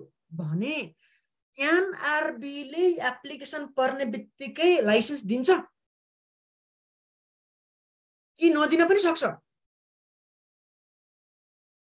नदिन पनि सक्छ। नदिन पनि सक्छ। इन्क्वायरी गर्छ इन्भेस्टिगेसन गर्छ यदि रिजनेबल छ लाइसेन्स दिन्छ रिजनेबल छैन लाइसेन्स दिँदैन। घटमा पोइन्ट त्यसो हो भने लाइसेन्स नदियो त सक्यो ब्याङ्किङ र फाइनेन्सियल ट्रान्जेक्सन क्यारी आउट गर्ने बाटो बन्द भयो। ठिक छ? तर लाइसेन्स दियो भने लाइसेन्स दियो भने यदि सेटिस्फ्याक्सन छ लाइसेन्स दियो भने ब्याङ्किङ र फाइनेन्सियल ट्रान्जेक्सन कमेन्समेन्ट गर्न पाइयो पाइएन अब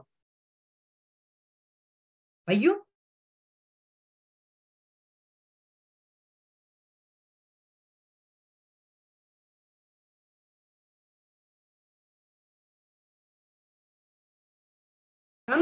कुन डेटबाट क्यारी गर्न सकिन्छ यदि लाइसेन्स दिइसकेपछि कुन दिनबाट कुन दिनबाट यदि लाइसेन्समा मेन्सन गरिएको छ त्यही दिन।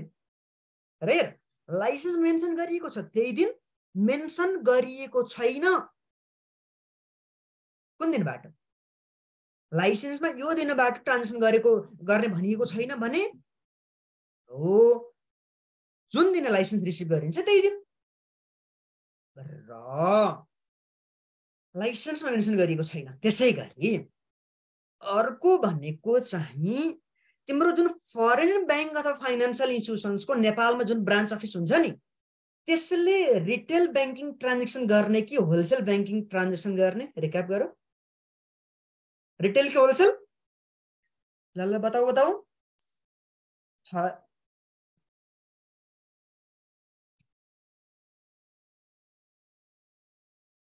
होलसेल ट्रान्जेक्सन गर्ने। अहिले मैले इन्सुरेन्सतिर गएको छैन। इन्सुरेन्सतिर अहिले बाफियाकै लिङ्क गरिराखेको छु। ठिक छ? Wholesale banking transaction only. Wholesale banking transactions only. ठिक छ? होलसेल भनेको बल्कमा लेन्डिङ गर्ने। बल्कमा लेन्डिङ बल्कमा डिपोजिट। त्यसै गरी त्यहाँनिर तिमीहरूले सिङ्गल पर्सन इन्भेस्टमेन्ट लिमिट भन्ने पढ्यौ। पेड अफ क्यापिटल मेन्टेन गर्नु पर्थ्यो। पेड अफ क्यापिटल मेन्टेन गर्नु पर्थ्यो। Plus single person investment limit six number forty one पक्का भनेपछि कुनै पनि पार्टिकुलर ब्याङ्क अथवा फाइनेन्सियल इन्स्टिट्युसन्समा एउटा व्यक्ति कुनै इन्स्टिट्युसन्सले म्याक्सिमम् कति इन्भेस्टमेन्ट गर्न सक्थ्यो भन त? म्याक्सिमम् कति? Maximum fifteen percent of the paid of capital र त्यसरी त्यो सेयर त्यो त्यो म्याक्सिमम् सिलिङसम्म इन्भेस्टमेन्ट गरिसकेपछि अनि अर्को नेक्स्ट ब्याङ्क अथवा फाइनेन्सियल इन्स्टिट्युसनमा चाहिँ इन्भेस्टमेन्टको सिलिङ कति हो? लेस देन वान पर्सेन्टेज ठिक छ? लेस देन वान पर्सेन्टेज भनेपछि यति त बाफियाको कन्सेप्ट रिभाइभल भयो कि भएन? बाफियाको कन्सेप्ट थोरै थोरै केही न केही रिभाइभल त भयो नि। हो। ठ्याक्कै अबको पाटो भनेको हामीले इन्सुरेन्स एक्टको अबको च्याप्टर टोटालिटी यही कन्सेप्टमा हामी जाने हो। गटमा पोइन्ट मेरो लजिक बुझिराखेका छौँ? मेरो लजिक बुझिराखेका छौँ? भनेपछि पहिला प्रायर एप्रुभल आफ्टर द्याट के गर्ने? Prior approval after that branch अफिसको रूपमा त्यस पछाडि कम्पनीको रूपमा जानु पर्यो। अनि त्यस पछाडि लाइसेन्सको लागि जाने। र लाइसेन्स लिइसकेपछि ब्याङ्किङ के अरे इन्सुरेन्स ब्याङ्किङ र फाइनेन्सियल ट्रान्जेक्सन कमिटमेन्ट गर्ने र सिङ्गल पर्सन इन्भेस्टमेन्टको कुरा गऱ्यौँ हामीले। भनेपछि इन्सुरेन्स एक्टको अबको प्रोभिजन पनि भाइ बहिनीहरूले स्क्रिनमा हेऱ्यौ भने अबको फ्लो त्यही अनुसार जाने देखिन्छ त्यही अनुसार जान्छ। ठिक छ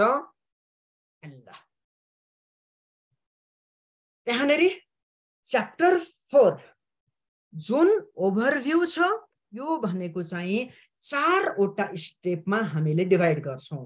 एउटा भनेको प्रायर एप्रुभल लिने स्टेज यो नोटेसन गर्ने कामहरू नगरौँ है। अनि त्यस पछाडि अर्को भनेको चाहिँ इनकर्पसनको स्टेज आफ्टर द्याट लाइसेन्सिङ र लाइसेन्सिङ पछाडि हामीले बिजनेस कमेन्समेन्ट गर्छौँ भने पहिला incorporation as a public or private के हो भन त? इनकर्पोरेसन्स भनेको एज अ पब्लिक कम्पनी कि प्राइभेट कम्पनी ठिक छ? Incorporation as a public company public कम्पनीको रूपमा इनकर्पोरेट गर्ने मतलब सुरुमा त अब कम्पनीका सम्पूर्ण चिजहरू त एप्लिकेबल हुनु पर्यो। भनेपछि यहाँनेरि सानो प्रोभिजन्स म यहाँ भाइ बहिनीहरूलाई थोरै लिङ्कअप गर्न चाहन्छु। ल हेर त। सेक्सन ट्वेन्टी फाइभ यदि कोही व्यक्तिले नेपालमा इन्सुरेन्स बिजनेस कन्डक्ट गर्न चाहन्छ भने उसले नयाँ कम्पनी खोल्ने हो भने पब्लिक कम्पनीको रूपमा इन्कर्पोरेट नगरिकन बिजनेस कन्डक्ट गर्न पाइयो त। बताउ त। पब्लिक कम्पनीको रूपमा पाइएन नि। पहिला पब्लिक कम्पनीको रूपमा इन्कर्पोरेट गर्नु पर्यो। नो इस्यु तर जसलाई चाहिँ यो एक्ट आउँदै गर्दा जुन कम्पनीहरू अलरेडी रजिस्टर छन् उनीहरूले फेरि रिरजिस्टर गर्नुपर्छ। उसले फेरि रिरजिस्टर गर्नुपर्छ त। ओभियसली पर्दैन। ओभियसली पर्दैन। कुनै डाउट छ? छैन। त्यसो हो भने section number twenty five subsection three र सबसेक्सन फोर हेर त के यो भनेको तिम्रो बाफियाको सेक्सन नम्बर फोर्टी वानसँग कहीँ न कहीँ यसको ट्युनिङ छ। कहीँ न कहीँ यसको लिङ्कअप छ। कहीँ न कहीँ यसको लिङ्कअप छ। मजासँग हेर्ने है मजासँग हेर्ने। यदि कुनै पनि इन्सुरेन्स कम्पनीमा इन्भेस्टमेन्ट गर्नुपर्ने छ कुनै व्यक्ति उसको फ्यामिली मेम्बर अथवा कुनै पनि अर्गनाइज बडी जसमा चाहिँ ती व्यक्तिहरूको share holding share holding subsidiary share holding छ भने उनीहरूले म्याक्सिमम् इन्भेस्टमेन्ट कति गर्ने? Fifteen percent of the paid of capital तर यो प्रोभिजन कसलाई लाग्दैन? यदि इन्सुरेन्स कम्पनीमा तिम्रो त सिङ्गल पर्सन थ्रेस होल्ड चाहिँ कसलाई लाग्दैन भन्दा गभर्मेन्ट नेपालले इन्भेस्टमेन्ट गरेको छ प्रोभिन्स गभर्मेन्टले इन्भेस्टमेन्ट गरेको छ अथवा कुनै फरेन इन्भेस्टरहरूले इन्भेस्टमेन्ट गरेको छ भने चाहिँ यो सिङ्गल पर्सन इन्भेस्टमेन्ट लिमिट चाहिँ उनीहरूलाई लाग्दैन त्यो सम्बन्धी एडिसनल प्रोभिजन्सहरू एनआइएले नै बनाउँछ। ठिक छ यहाँसम्म क्लियर यहाँसम्म कुरा बुझ्यौ? ओके अब त्यस पछाडि एक्जिस्टिङ इन्सुरेन्स कम्पनीहरूमा यदि सिङ्गल पर्सन इन्भेस्टमेन्ट लिमिट कटेको छ भने एक्जिस्टिङ पोजिसनमा त ल्याउनु पर्ला नि त कि पर्दैन? लको कम्प्लाइन्स गरेर ठिक ठाउँमा त ल्याउनु पर्ला कि पर्दैन? पक्कै पनि पर्छ। भने त्यसको लागि चाहिँ एक्टले के गरेको छ भन्दा यो ऐन कमेन्समेन्ट भएको मितिले दुई वर्षभित्रको टाइम थ्रेसोल्ड दिएको छ। दुई वर्षभित्रमा त्यो सिङ्गल पर्सन इन्भेस्टमेन्ट लिमिटको ब्राकेटभित्रमा कन्भर्ट कन्भर्सन भइसक्नु पर्दछ। त्यसै गरी यदि म्याक्सिमम इन्भेस्टमेन्ट लिमिट हामीले गर्ने हो फिफ्टिन पर्सेन्टसम्म भने नेक्स्टमा नेक्स्ट ब्याङ्क अथवा फाइनेन्सियल इन्स्टिट्युसन्समा मैले कति भने? नेक्स्ट ब्याङ्क अथवा financial इन्स्टिट्युसनमा less than one less than one पक्का? पक्का? कुनै डाउट छ?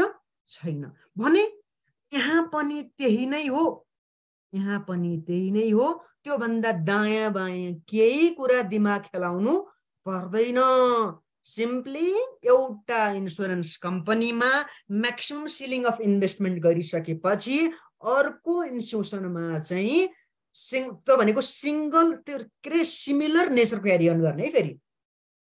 लाइफ इन्सुरेन्स छ भने लाइफ इन्सुरेन्स लाइफ इन्सुरेन्स कम्पनीमा म्याक्सिमम् इन्भेस्टमेन्ट गरिएको छ भने अर्कोमा तिम्रो वान पर्सेन्टभन्दा कम रहने गरी इन्भेस्टमेन्ट गर्न पर्यो। तर नेक्स्ट क्याटेगोरीको इन्सुरेन्स बिजनेसमा चाहिँ यो सेक्सन्सले रेस्ट्रिक्सन गर्दैन। घटना point same to same basis same to same तर differential different insurance business carry out गर्नेको कुरामा चाहिँ यो प्रोभिजन एप्लिकेबल त्यसो भने यो त पब्लिक कम्पनीको रूपमा इस्टाब्लिस गर्दै गर्दा सिङ्गल पर्सन इन्भेस्टमेन्ट लिमिट भयो अब हेर है त अब यहाँनिरका कन्टेन्टहरू थोरै अलिकति लेन्दी छन् होइन त्यसको लागि चाहिँ हामी अब थोरै सेसन्स ब्रेक लिने हो भाइ बहिनीहरू के छ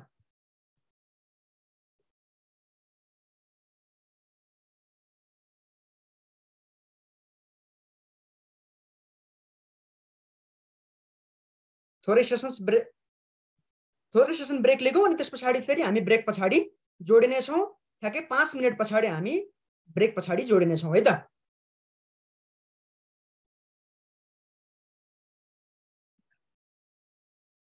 आर रेडी सेसन स्टार्ट गरौँ।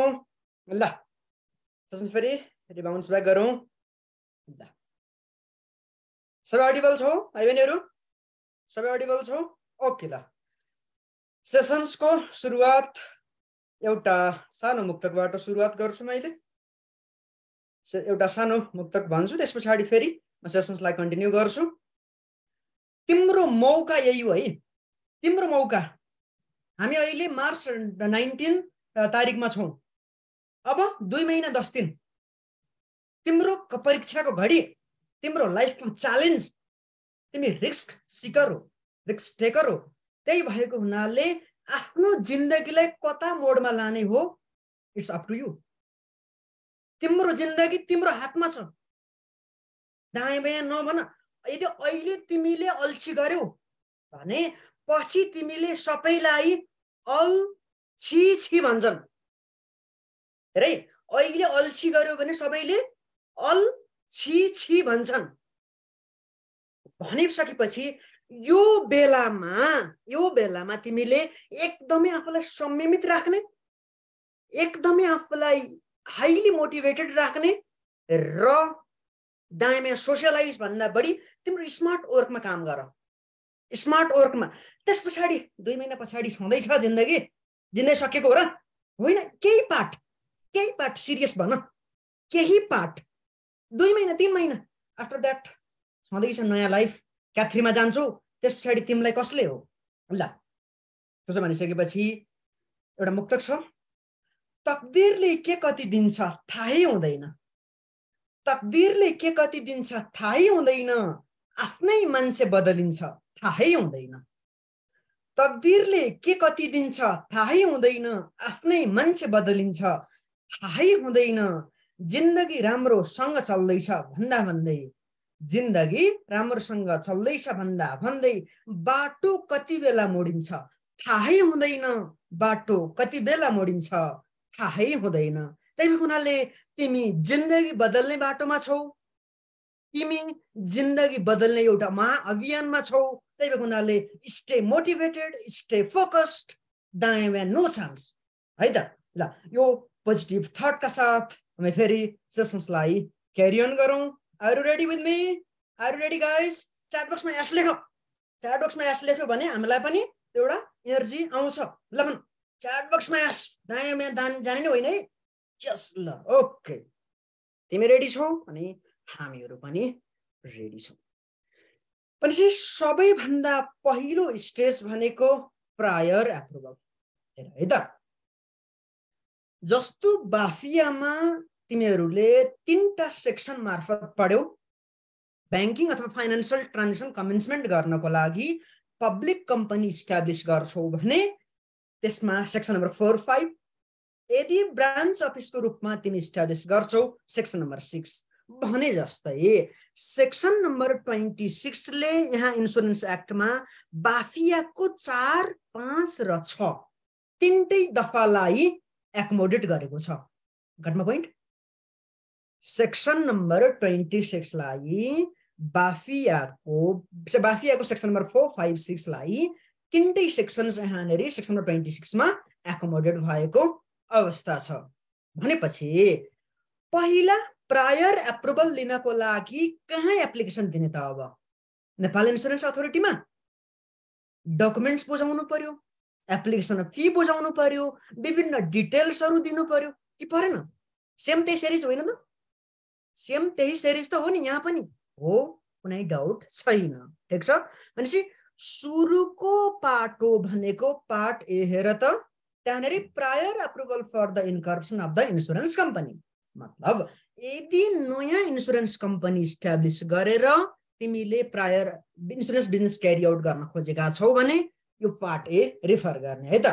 कुन कुन डकुमेन्ट प्रपोज कम्पनीको एमओए इन्फ्रास्ट्रक्चर डिटेल्स ठिक छ अनि त्यस पछाडि प्रमोटर को को हुन् प्रमोटरहरूको पर्सनल डिटेल्स र प्रमोटरहरूको बिचमा कुनै कन्ट्र्याक्ट भएको छ कि कुनै एग्रिमेन्ट भएको छ कि त इन्कर्पसन गर्नुभन्दा पहिला ए त्यस्तो केही छ भने प्लस यो भनेको चाहिँ प्रमोटरहरूको आम्दानीको सोर्स के हो र उनीहरूको ट्याक्स क्लियरेन्स ठ्याक्कै मलाई दिमागमा आइराखेको छ BAFIA section number four one झलझली मेरो दिमागमा आइराखेको छ जस्तै मेरो झलझली आँखामा भन्छौ नि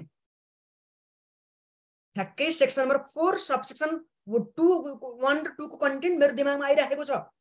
हो भनेपछि यहाँ दायाँमा लिङ्क गर्नु भएन प्रब्लम सजिलो छ है त? अब प्रमोटर नेचुरल पर्सन मात्रै हुन सक्छ नि त। सक्दैन। प्रमोटर नेचुरल पर्सन्स मात्रै हो त। होइन कम्पनीहरू पनि हुनसक्छ कर्पोरेट बडी पनि हुन सक्छन् भने कर्पोरेट बडीको डिटेल्सहरू के के हो त भन्दा बोर्ड अफ डाइरेक्टर्सको कम्पनी नयाँ इन्भेस्टमेन्ट गर्नु कम्पनी नयाँ खोल्नु छ त्यसमा इन्भेस्टमेन्ट गर्ने डिसिजन्स ठिक छ?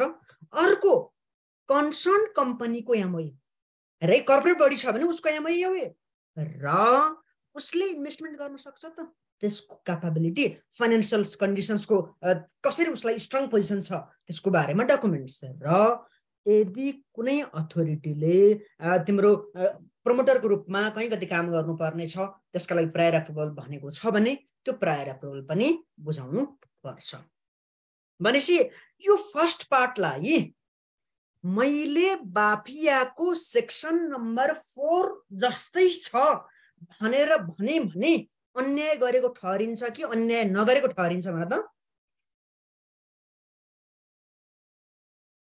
जस अन्याय नगरेको ठहरिन्छ। भनेपछि यो पाटो त भयो। ल अब त्यस पछाडि सेकेन्ड एस्पेक्टमा हेर है त। सेकेन्ड एस्पेक्टमा भनेको चाहिँ फरेन इन्सुरेन्स कम्पनीले नेपालमा इन्भेस्टमेन्ट गर्ने हो। नेपालमा नयाँ इन्सुरेन्स कम्पनी इस्टाब्लिस गर्ने हो भने बाफियामा तिमीहरूले कि त जोइन्ट इन्भेस्टमेन्ट अथवा जोइन्ट भेन्चर कि त सब्सिडायरी कम्पनी भनेका थियो। भने यहाँनिर पनि ठ्याक्कै त्यस्तै त्यस्तै कन्सेप्ट हो। एउटा त कि त नेपाली सिटिजन अथवा नेपाली कर्पोरेट बडीहरूसँग मिलेर ब्रान्च के अरे नयाँ कम्पनी इन्कर्पोरेट गर्न सकिने रहेछ अथवा ब्रान्च अफिसको रूपमा काम इस्टाब्लिस गर्न सकिने रहेछ। र यदि त्यस पछाडि कुनै पनि त्यो नयाँ कम्पनीको रूपमा फरेन इन्भेस्टमेन्टको रूपमा इस्टाब्लिस गर्ने हो भने प्रायर एप्रुभल त चाहियो? प्रायर एप्रुभल चाहिँदै गर्दा अब एनआइएमा एप्लिकेसन दिनुपर्छ नेपाल इन्सुरेन्स अथोरिटीमा कुन कुन त? हेर त। ठ्याक्कै कहीँ कतै मैले यो पढ्दै गर्दा बाफियाको सेक्सन नम्बर फाइभ मेरो दिमागमा आइराखेको छ। तिमीहरूलाई पनि त्यस्तो भएको छ? यो मैले यो कन्टेन्ट भन्दै गर्दा बाफियाको सेक्सन नम्बर फाइभ दिमागमा आइराखेको छ। जोइन्ट भेन्चरको कुरा ठ्याक्कै डकुमेन्ट्सहरू फरेन ब्याङ्क अथवा फाइनेन्सियल इन्स्टिट्युसन भने जस्तै यहाँ फरेन इन्सुरेन्स कम्पनीको डकुमेन्ट्स हामीहरूले के गर्नुपर्छ सबमिट गर्नुपर्छ ल के के डकुमेन्ट्स त भन्दा त्यो जुन विदेशी फरेनर फरेन ब्याङ्क अथवा financial sorry foreign insurance company छ उसको इन्सुरेन्स बिजनेस गर्नको लागि प्राप्त गरेको लाइसेन्स प्लस लाइसेन्स रिन्युअल गरेको छ भने त्यसको रिन्युअलको कपी अर्को भनेको त्यो देशको रेगुलेटरी बडीले नेपालमा ब्रान्च अफिस खोल्नको लागि दिइएको प्रायर एप्रुभल त्यस पछाडि बोर्डले नेपालमा त्यो कम्प त्यो इन्स फरेन इन्सुरेन्स कम्पनीको बोर्डले नेपालमा बिजनेस गर्ने हो फरेन इन्भेस्टमेन्ट गर्ने हो अथवा ब्रान्च अफिस खोल्ने हो भने त्यसको लागि गरेको डिसिजन्स लास्ट फाइभ इयर्सको अडिटेड फाइनेन्सियल स्टेटमेन्ट्स र अर्को डाइरेक्टरहरूको नेम लिस्ट र को को व्यक्तिहरूको सेयर ओनरसिप छ त्यो फरेन इन्सुरेन्स कम्पनीमा त्यसरी डकुमेन्ट्सहरू बुझाउनु पर्छ। भनेपछि अब भाइ बहिनीहरूले सबैभन्दा पहिला प्रायर एप्रुभल त हो।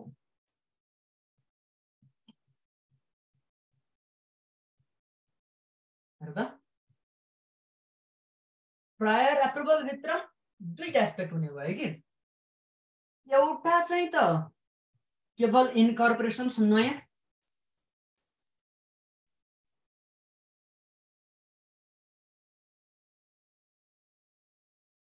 अर्को के हुन सक्छ? भन्दा जोइन्ट इन्भेस्टमेन्टमा अर ब्रान्च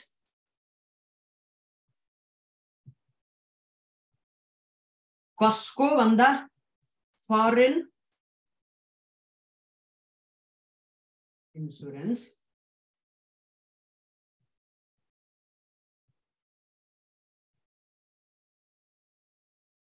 हेर्दा? यो यसको लागि के छ त? डकुमेन्ट्सहरू बुझाउनु पर्यो कि परेन?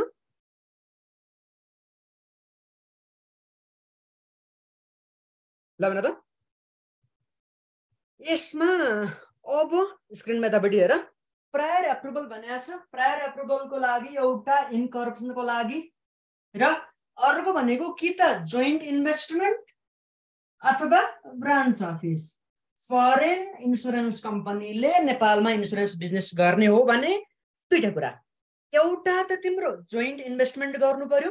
जोइन्ट इन्भेस्टमेन्ट को कोसँग रे? Joint investment by foreign insurance company को कोसँग जोइन्ट इन्भेस्टमेन्ट बताऊ बताऊ बताऊ कमान गाइज च्याट बक्समा लेख्ने। के त नेप्लिज नेसनल के त नेप्लिज बडी कर्पोरेट कम्पनीहरूसँग मिलेर। तर हन्ड्रेड पर्सेन्टेज फरेनरको इन्भेस्टमेन्ट भन्ने कुरा चाहिँ यहाँ होइन है त? र अब यस पछाडि जस्तै हेर्दा इनकर्पोरेसन भन्ने बित्तिकै डकुमेन्ट्स बुझाउनु पर्यो। डकुमेन्ट्स डकुमेन्टसँगै के हो त? एप्लिकेसन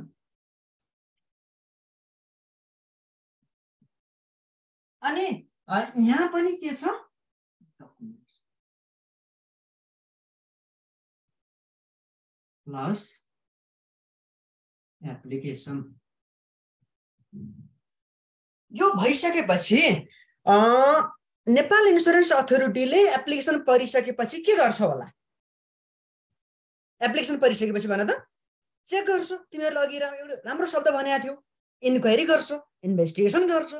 यदि सबै कन्डिसन ठिक छ भने लाइसेन्स दिने हो कि प्रायर एप्रुभल दिने हो? हेर त?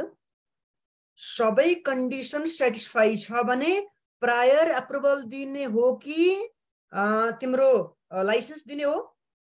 इन्क्वायरी गर्छ इन्सपेक्सन गर्छ, भनेपछि त्यो बेलामा अब यहाँनिर दुईवटा कुरा कुरा हुने भयो। ठिक छ?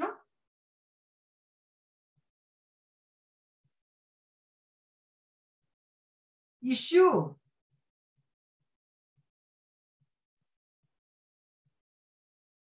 प्रायर एप्रुभल अथवा त्यसको रिफ्युजल हुन सक्छ। ठिक छ? कि त इस्यु हुन सक्छ कि त रिफ्युजल हुन सक्छ भने अब त्यो प्रायर एप्रुभल दिने हो भने कम्पनी एक्टमा जाने बाटो खुल्यो। प्रायर एप्रुभल दिन्छ भने कम्पनी एक्टमा जाने बाटो खुल्यो। Foreign investment by foreign insurance company उनीहरूले नयाँ कम्पनी इन्कर्पोरेट गर्नु पर्यो एज पब्लिक कम्पनी त्यसै गरी फरेन इन्सुरेन्स कम्पनीले ब्रान्च अफिस खोल्ने हो। अनि उसले नयाँ कम्पनी दर्ता गर्ने कि फरेन कम्पनी इन्सुरेन्स फरेन कम्पनीको ब्रान्च अफिस दर्ता गर्ने भन त मलाई? नेपालमा? फरेन कम्पनीको ब्रान्च अफिसको रूपमा रजिस्टर गर्ने। नयाँ कम्पनी? होइन। अब रिफ्युजल पनि त गर्न सक्छ नि त। कि सक्दैन ल मलाई? रिफ्युजल पनि गर्न सक्छ। यदि टर्म्स एन्ड कन्डिसन्स मिट भएन भने रिफ्युजल पनि गर्न सक्छ नि। भेरी गुड सो भने अब रिफ्युजल दिने बाटोहरूको लागि हामी अगाडि मुभन हुनु पर्यो यदि कन्डिसन्सहरू डकुमेन्ट्सहरू बुझाएको छ डकुमेन्ट्स बुझाइसकेपछि सबै कन्डिसन्स ठिक छ सबै कन्डिसन्स एडिक्वेट छ भने साठी दिनभित्रमा प्रायर एप्रुभल दिन्छ। तर यदि ठिक छैन भने अब कुनमा जाने होला हामी? हेर त कन्डिसन्स मिट भएन भने सेक्सन ट्वेन्टी सिक्स हेर्ने कि ट्वेन्टी सेभेन हेर्ने? कन्डिसन्स मिट भएन भने ट्वेन्टी सिक्स कि twenty seven obviously conditions meet भयो भने गो अहेड कन्डिसन मिट भएन भने त्यहीँ हेर्न पर्यो हो त्यहीँ बस्न पर्यो हो। भनिसकेपछि जुन यो सेक्सन ट्वेन्टी सेभेन छ नि जुन सेक्सन ट्वेन्टी सेभेन छ नि त्यो भनेको कहीँ न कहीँ बाफियाको त्यो कहीँ न कहीँ बाफियाको सेक्सन नम्बर सेभेन ल त कहीँ न कहीँ बाफियाको section number seven am right ल मतलब मलाई बताऊ कहीँ न कहीँ section number seven. Okay come on guys अब त्यसो भने कुन कुन सिचुएसनमा चाहिँ बोर्डले सरी नेपाल इन्सुरेन्स अथोरिटीले दिनको लागि रिफ्युजल गर्न सक्छ त? ध्यान दिने। एउटा प्रपोज इन्सुरेन्स कम्पनीको नाम चाहिँ एक्जिस्टिङ इन्सुरेन्स कम्पनीसँग आइडेन्टिकल छ। हन्ड्रेड पर्सेन्टेज नाम मिल्ने गएको अवस्था हुनसक्छ अथवा उसको नेम अथवा उसले जुन किसिमको ट्रान्जेक्सन्स गर्ने हो त्यो चाहिँ पब्लिक इन्ट्रेस्ट मोरालिटी डिसेन्सी कुनै राष्ट्रियता कम्युनिटी सोसियल सिस्टम त्यसको अगेन्स्टमा छ। यो सबै चिज त तिमीहरूले बाफियामा पढेकै कुरा हो। तर यहाँ पोइन्ट मात्रै रिमेम्बर गर्ने हो। र फिजिबिलिटी स्टडी हुँदै गर्दा उसले चाहिँ क्रान ट्रान्जेक्सन गर्न सक्ने देखिन्न। र उसले चाहिँ तिम्रो हेल्दी कम्पिटेटिभ म्यानरमा ट्रान्जेक्सन गर्न सक्छ भन्ने नेपाल इन्सुरेन्स अथोरिटीलाई लागेन भने नदिन सक्छ। अथवा उसको अब्जेक्टिभ लफुल हुनुपर्छ कि इलिगल हुनुपर्छ होला? बताऊ। अब्जेक्टिभ के हुनुपर्छ? ओभियसली लफुल हुने होइन र ओभियसली लफुल हुनुपर्छ। लफुल छ रिफ्युजल हो कि होइन? लफुल छ रिफ्युजल हो कि गो हेड भन्छ। रिफ्युजल होइन गो हेड भन्छ। तर अब्जेक्टिभ कन्ट्रारी छ। अब्जेक्टिभ इन्कन्सिस्टेन्ट छ इलिगल छ। भने त्यो बेलामा चाहिँ गो अब तिमीहरूले लाइसेन्स पाउँदैनौ के प्रायर एप्रुभल पाउँदैनौ भन्छ। अब एकदमै भाइ बहिनीहरूले यहाँनिर नोट गर्नुपर्ने। क्लज नम्बर एफ है। क्लास नम्बर एफ एकदमै हाइलाइट गरेर राख्ने सबैले क्लास नम्बर एफ यदि कुनै पनि इन्सुरेन्स कम्पनीमा प्रमोटर बन्ने हो भने कम्तीमा कति नम्बर अफ सेयर्स लिनुपर्छ ल हेर्दा स्क्रिन स्क्रिन हेरेर तिमीहरूबाट एन्सर देऊ मलाई कम्तीमा दस हजार किता सेयर लिने उसले कमिटमेन्ट गरेको हुनुपर्छ ठिक छ यदि त्यो कमिटमेन्ट गरेको छैन भने अथवा दस हजारभन्दा बढी लिन्छु भने पनि पाइन्छ। तर मिनिमम थ्रेसोल्ड कति त?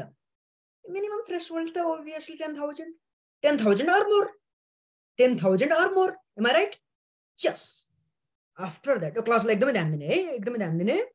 र यदि minimum paid of capital meet गर्ने छाँटकाँट देखिएन त minimum paid of capital meet हुँदैन भने सुरुमै जान्दा जान्दै एनआइएले प्रायर एप्रुभल देला।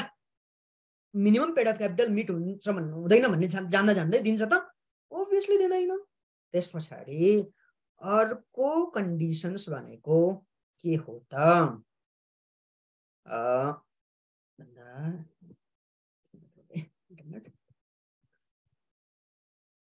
Class number H.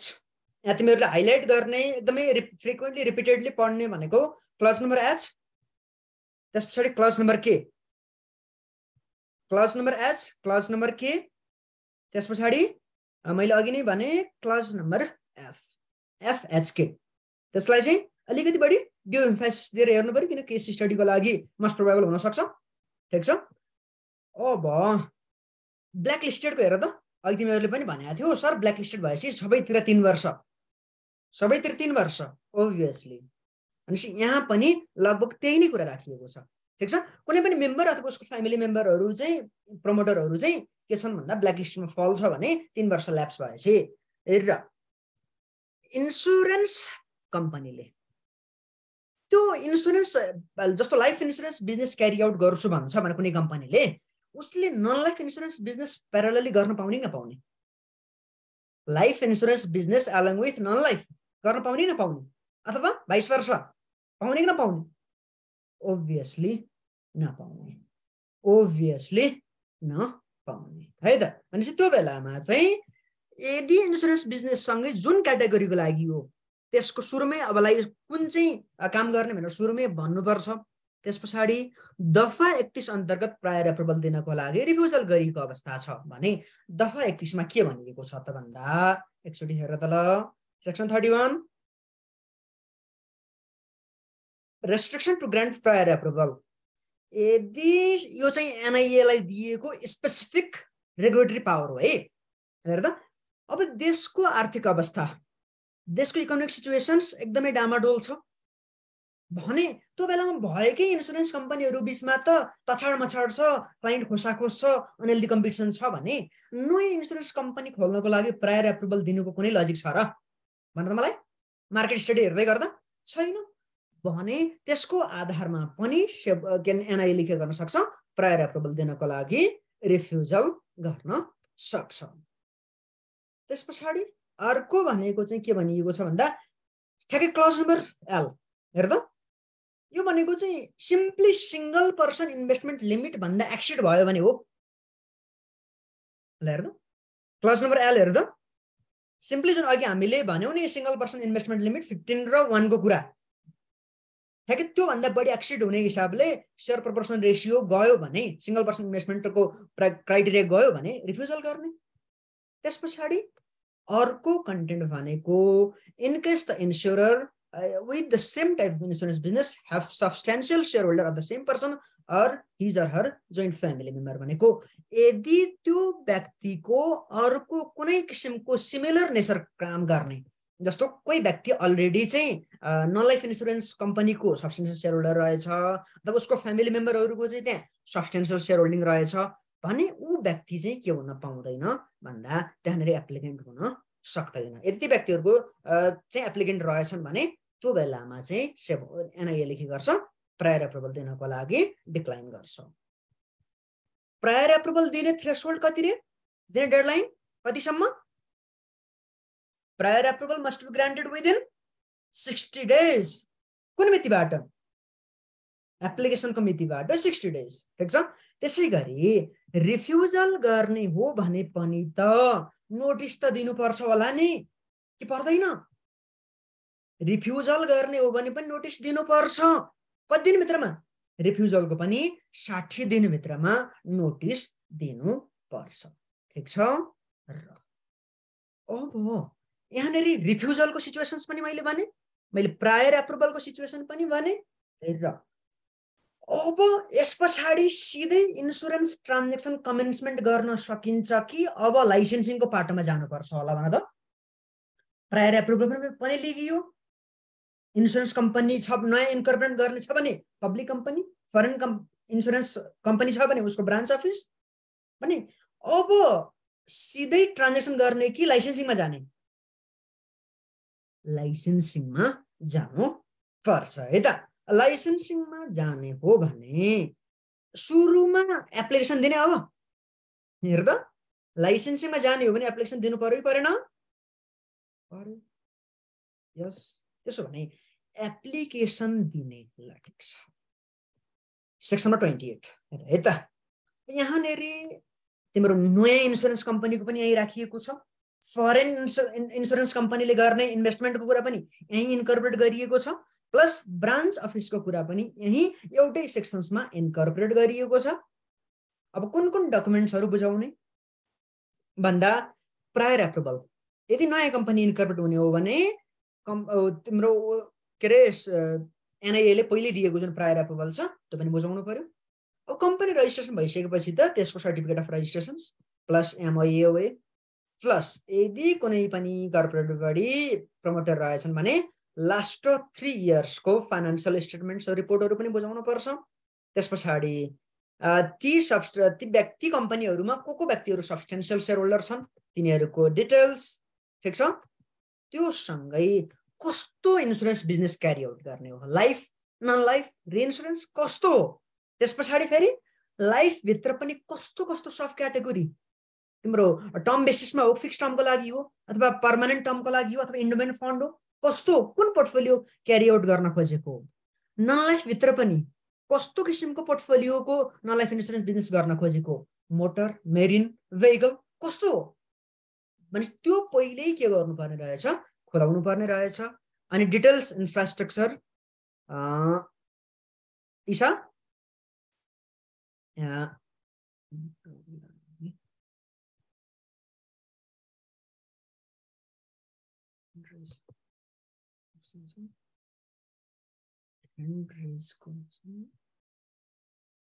ठिक छ म पहिला पहिला यो च्याप्टर क्यारी अन गरौँ त्यस पछाडि म तिमीहरूको एकैचोटि क्वेसन्स क्वेरी ह्यान्डिङ सेसन लिन्छु है त ल त्यस पछाडि अर्को भनेको चाहिँ चिफ एक्जिक्युटिभहरूको डिटेल्स त्यस पछाडि इन्सुरेन्स रिस्कलाई कसरी मिनिमाइज गर्ने त्यसको बारेमा पोलिसी अर्को भनेको चाहिँ तिम्रो प्रपोज इन्सुरेन्स कम्पनीको कन्ट्र्याक्ट कसरी इन्सुरेन्स कन्ट्र्याक्टहरू कसरी गर्ने त्यसको ड्राफ्ट अर्को बाइल पोलिसिजहरू छ इन्टरनल कन्ट्रोलका पोलिसिजहरू इस्युजहरू छन्। यी बाइलहरू पनि सुरुमै एप्लिकेसन साथसाथै बुझाउनु पऱ्यो सिम्पली यहाँनिर धेरै दिमाग लगाउनु भन्दा पनि कन्टेन्टहरूलाई टाइम एन्ड अगेन रिभाइज गर्ने हो त्योभन्दा अरू यसमा एसोस त्यति धेरै फोकस गर्नुपर्ने इस्युजहरू छैनन्। ठिक छ?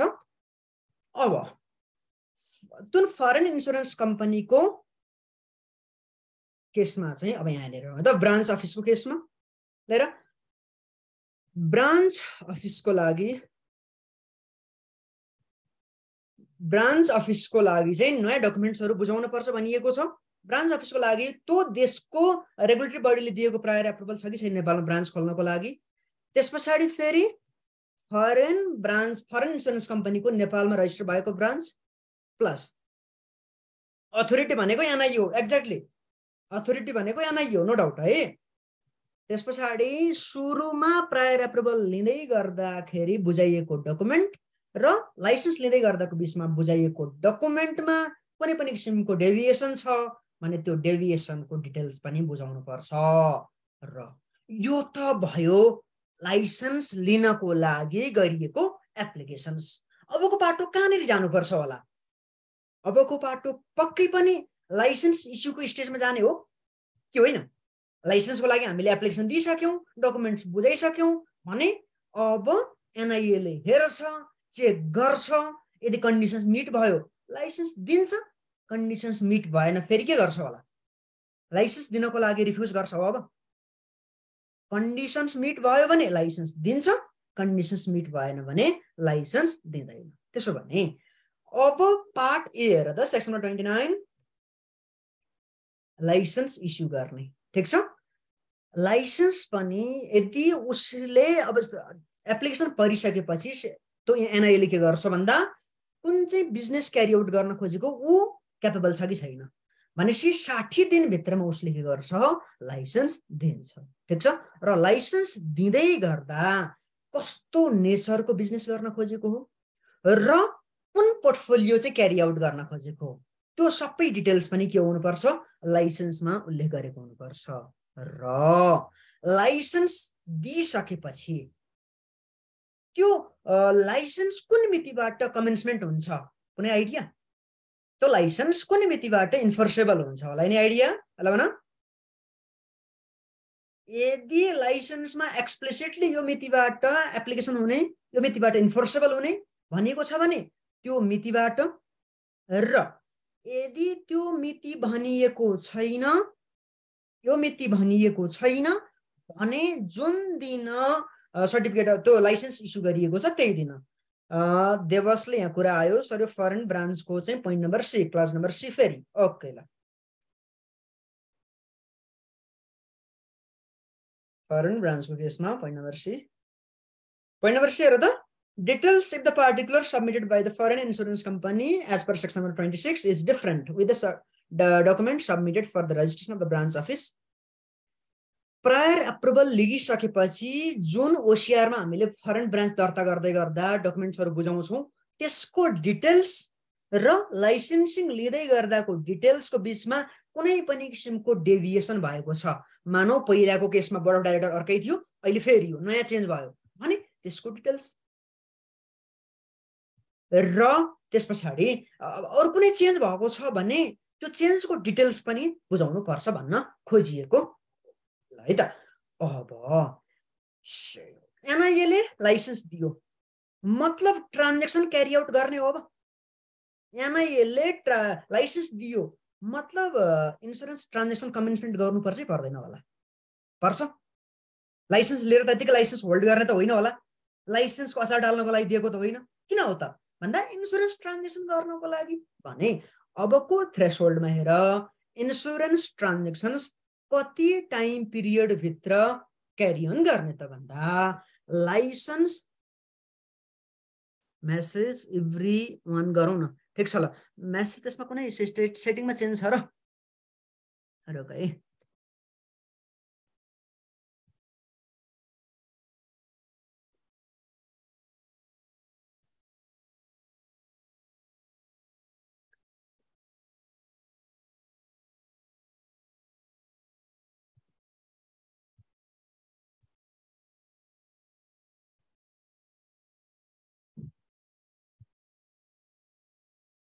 फेरि यहाँ इभ्रिवन भन्ने बित्तिकै एउटाले अर्कोलाई चाहिँ मेसेजहरू गर्ने फेरि यहाँ झगडा गरेर चाहिँ नथाल नि फेरि।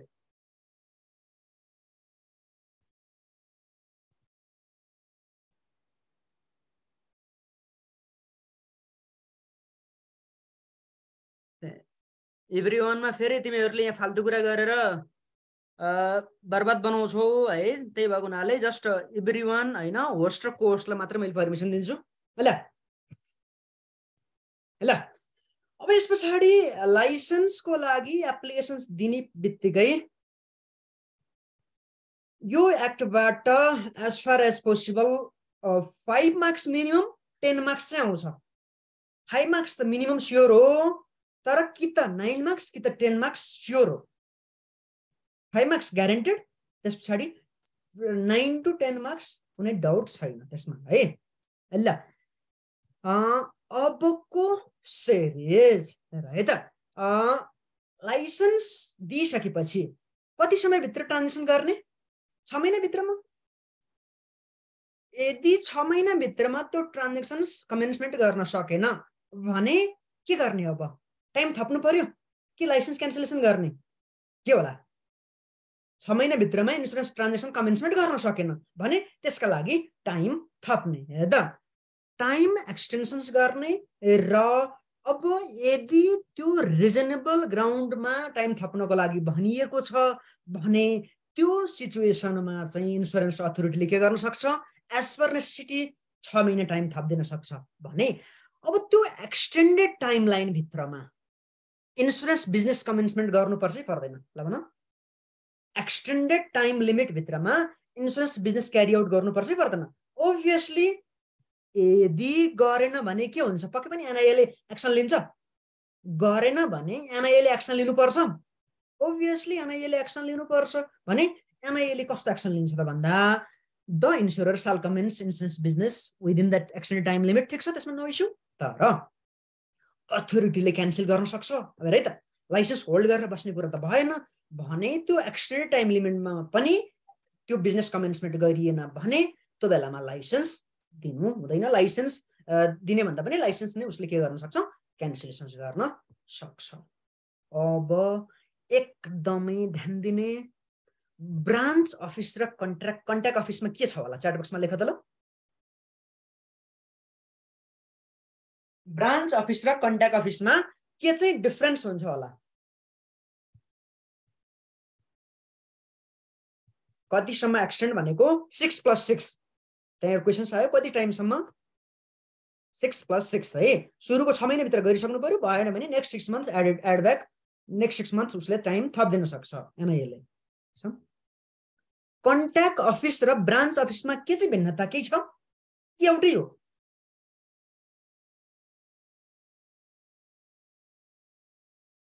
ब्रान्च अफिस भनेको ट्रान्जेक्सन गर्नको लागि। ब्रान्च अफिस भनेको ट्रान्जेक्सन्स गर्नको लागि। तर कन्ट्र्याक्ट कन्ट्याक्ट अफिस भनेको चाहिँ अब त्यहाँ तिमीहरूले भन्यो नरसले भनेको छौ contact office maybe similar to register office त्यस्तै त्यस्तै त्यस्तै इक्वालेन्ट त्यस्तै त्यस्तै हो है।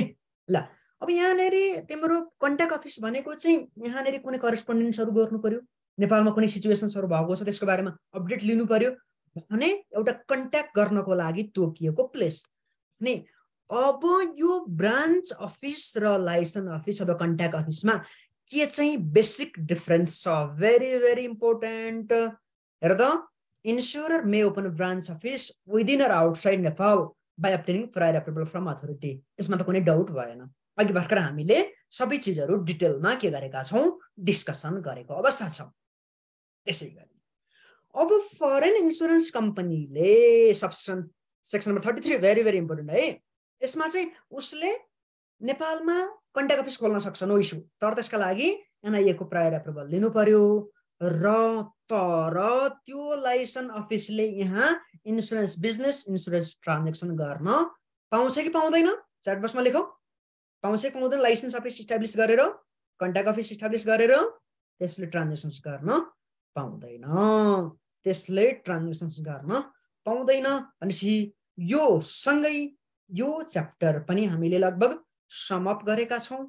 यसमा मैले तिमीहरूलाई अहिलेसम्म के बताएँ भन्दा सबैभन्दा पहिला स्टेप वान सम्झिनु पर्यो। लाइसेन्सिङको other stage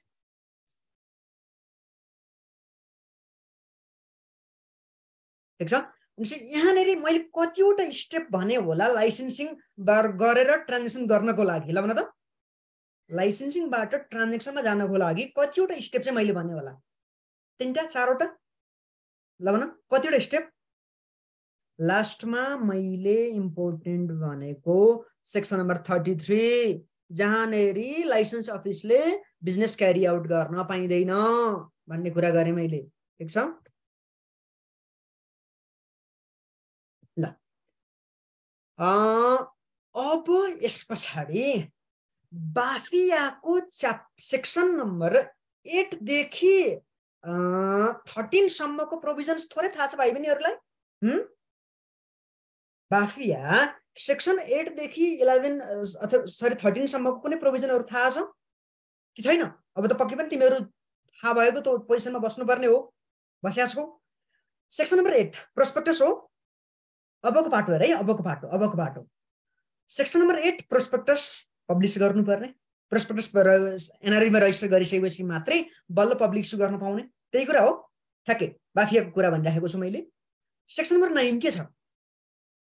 allotment of shares एलोटमेन्टमा चाहिँ तिम्रो अब जनरल पब्लिकलाई कति इस्यु गर्ने? अनि त्यस पछाडि तिम्रो अर्को भनेको चाहिँ एलोटमेन्ट गरिसकेपछिको डिभिडेन्ट डिस्ट्रिब्युसन्सका कुराहरू प्रोस्पेक्टस डिलिङ त्यसको प्रोभिजन्स ठिक छ? अनि प्रमोटरहरूले सेयरलाई सेल र प्लेस गर्ने कुरा पनि छ हो त्यसको रेस्ट्रिक्सन अनि अर्को section number टुवेल्भमा restriction on dealing in securities सेक्युरिटिजहरूको transactions गर्नको लागि prohibitions selling purchase exchange gift यस्ता सम्पूर्ण कुरा गर्नको लागि प्रोहिबिसन लगाइएको छ हो। सेक्सन टुवेल्भ एक्ज्याक्टली भने अबको त्यही फ्लोलाई त्यही फ्लोलाई हामीले क्याच अप गर्दै अबको च्याप्टरलाई हामी क्यारियन गर्छौँ। Okay are you ready chat बक्समा लेखौँ are you ready yes no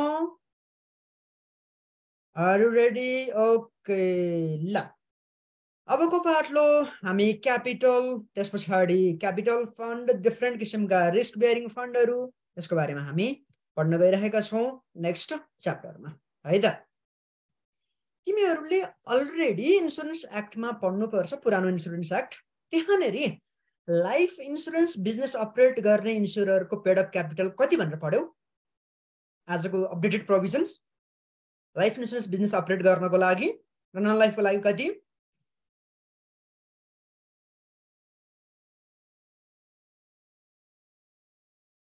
to point five अर्ब र वान अर्ब। ठिक छ? त्यस पछाडि ओके ल फाइभ अर्ब टु पोइन्ट ओके ल यसमा चाहिँ थोरै पख है त। फाइभ टु पोइन्ट फाइभ त्यो चाहिँ म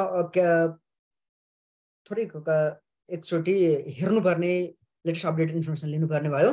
ठिक छ ल त्यस त्यसमा म रेटिफाई गराउँछु है त। मिनिमम पेड अफ क्यापिटल के हुनुपर्छ? मिट गर्नुपर्छ कि पर्दैन? मिनिमम पेड अफ क्यापिटल जुन चाहिँ नेपाल इन्सुरेन्स बोर्डले नेपाल इन्सुरेन्स अथोरिटीले टाइम एन्ड अगेन तिम्रो प्रिस्क्राइब गरेको हुन्छ त्यो टाइम एन्ड अगेन प्रिस्क्राइब गरेको मिनिमम पेड अफ क्यापिटलहरू मिट गर्नुपर्छ भनिएको छ।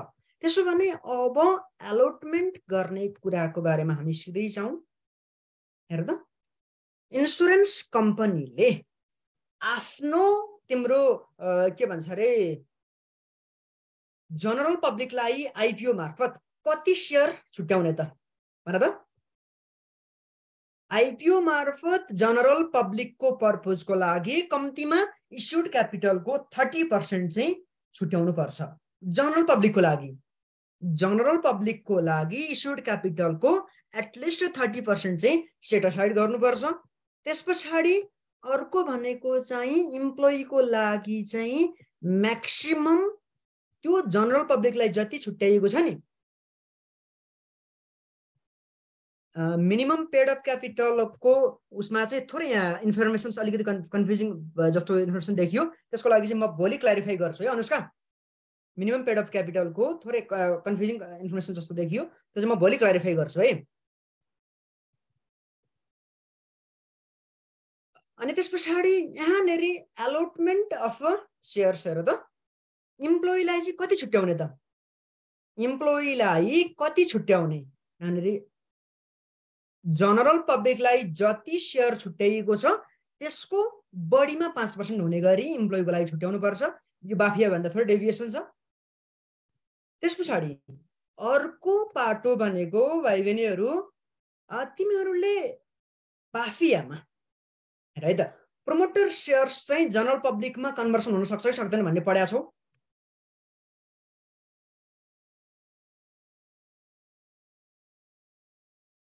जनरल पब्लिकमा कन्भर्सन हुन सक्छ भनिएको छ। जनरल पब्लिकमा कन्भर के अरे जनरल पब्लिक ग्रुपमा कन्भर्सन हुन सक्छ। तर कन्भर्सन भइसकेपछि पनि प्रमोटर्सहरूको स्टेक कति हुनुपर्छ? पोस्ट कन्भर्सन पनि प्रमोटर्सहरूको मिनिमम स्टेक कति हुनुपर्छ? मिनिमम फिफ्टी वान हुनुपर्छ। भनिसकेपछि यहाँनिर हेर एकचोटि एकचोटि ध्यान देऊ।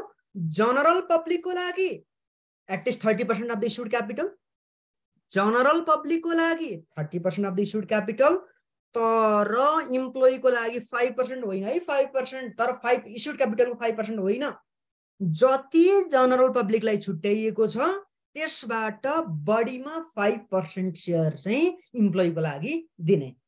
ठिक छ? बाफियाभन्दा थोरै चेन्ज छ। ठिक छ? जति जनरल पब्लिकलाई छुट्याइएको छ त्योबाट म्याक्सिमम् फाइभ पर्सेन्टसम्म हुने गरी इम्प्लोइलाई छुट्याउन सकिन्छ। ठिक छ? अब यहाँनिर सबसेक्सन थ्रीमा एकचोटि जाऊ त। An insurer may convert the promoter shares into ordinary shares after taking the approval of कसको त? एनआइए को तर कन्भर्सन भइसके पश्चात कन्भर्सन भइसके पश्चात कति त? कन्भर्सन भएपछि फिफ्टी वान चाहिँ हुनु पर्यो फेरि प्रमोटरको स्टेक। प्रमोटरको स्टेक मिनिमम फिफ्टी वान चाहिँ हुनु पर्यो है त? अब यो त भयो एलोटमेन्ट गर्ने प्रोभिजनहरू त्यसो भने प्रोस्पेक्टस र इस्यु अफ सेयर्स हेर त। प्रोस्पेक्टस भनेको प्राइमरीली कुन एक्टले डिल्ड गर्छ होला प्रोस्पेक्टसको बारेमा? ल बताउ प्रोस्पेक्टसको बारेमा प्राइमेरी कुन एक्टले डिल्ड गर्छ securities act companies act securities एक्टले सेक्युरिटिज एक्टले पहिला प्रिपरेसन्स सेक्युरिटिजको प्रोस्पेक्टसको नर्मल कुराहरू पहिला प्रिपरेसन त्यस पछाडि कसले एप्रुभल गर्छ? प्रोस्पेक्टस भन त सेक्युरिटिज एक्टका कुराहरूमा। एप्रुभल गर्छ सेबोनले अनि त्यस पछाडि सेबोनले एप्रुभल गरिसकेपछि ब्याङ्क अफ फाइनेन्सियल इन्स्टिट्युसन्सले चाहिँ एनआरबीमा गएर दर्ता हुनुपर्ने होइन त? एनआरबीमा पनि रजिस्टर हुनुपर्छ प्लस ओसिआरमा पनि रजिस्टर हुनुपर्छ नो डाउट तर यदि इन्सुरेन्स कम्पनीहरूले आइपिओ मार्फत जनरल पब्लिकलाई इस्यु गर्ने हो एफपिओ मार्फत भने त्यो बेलामा सबैभन्दा पहिला कहाँ रजिस्टर हुनुपर्छ होला? इन्सुरेन्स अथोरिटीमा एनआइएमा कि परे एनआइएमा परेको परेन भन त? एनआइएमा त्यो डकुमेन्ट त्यो प्रोस्पेक्टस रजिस्टर हुनु पर्यो। जब एनआइएमा रजिस्टर हुन्छ त्यस पछाडि ओसिआरमा जान्छ ओसिआरमा पनि दर्ता हुन्छ अनि मात्रै बल्ल पब्लिक इस्यु गर्न पाइयो। यहाँसम्म क्लियर छौँ?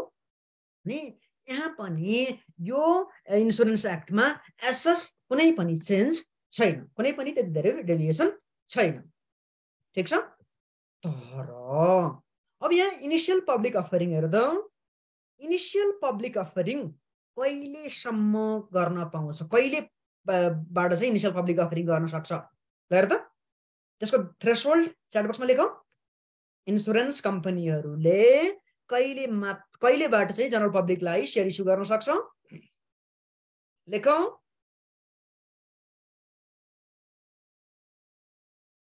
त्यो कमेन्समेन्ट गरेको एट वान इयरभित्रमा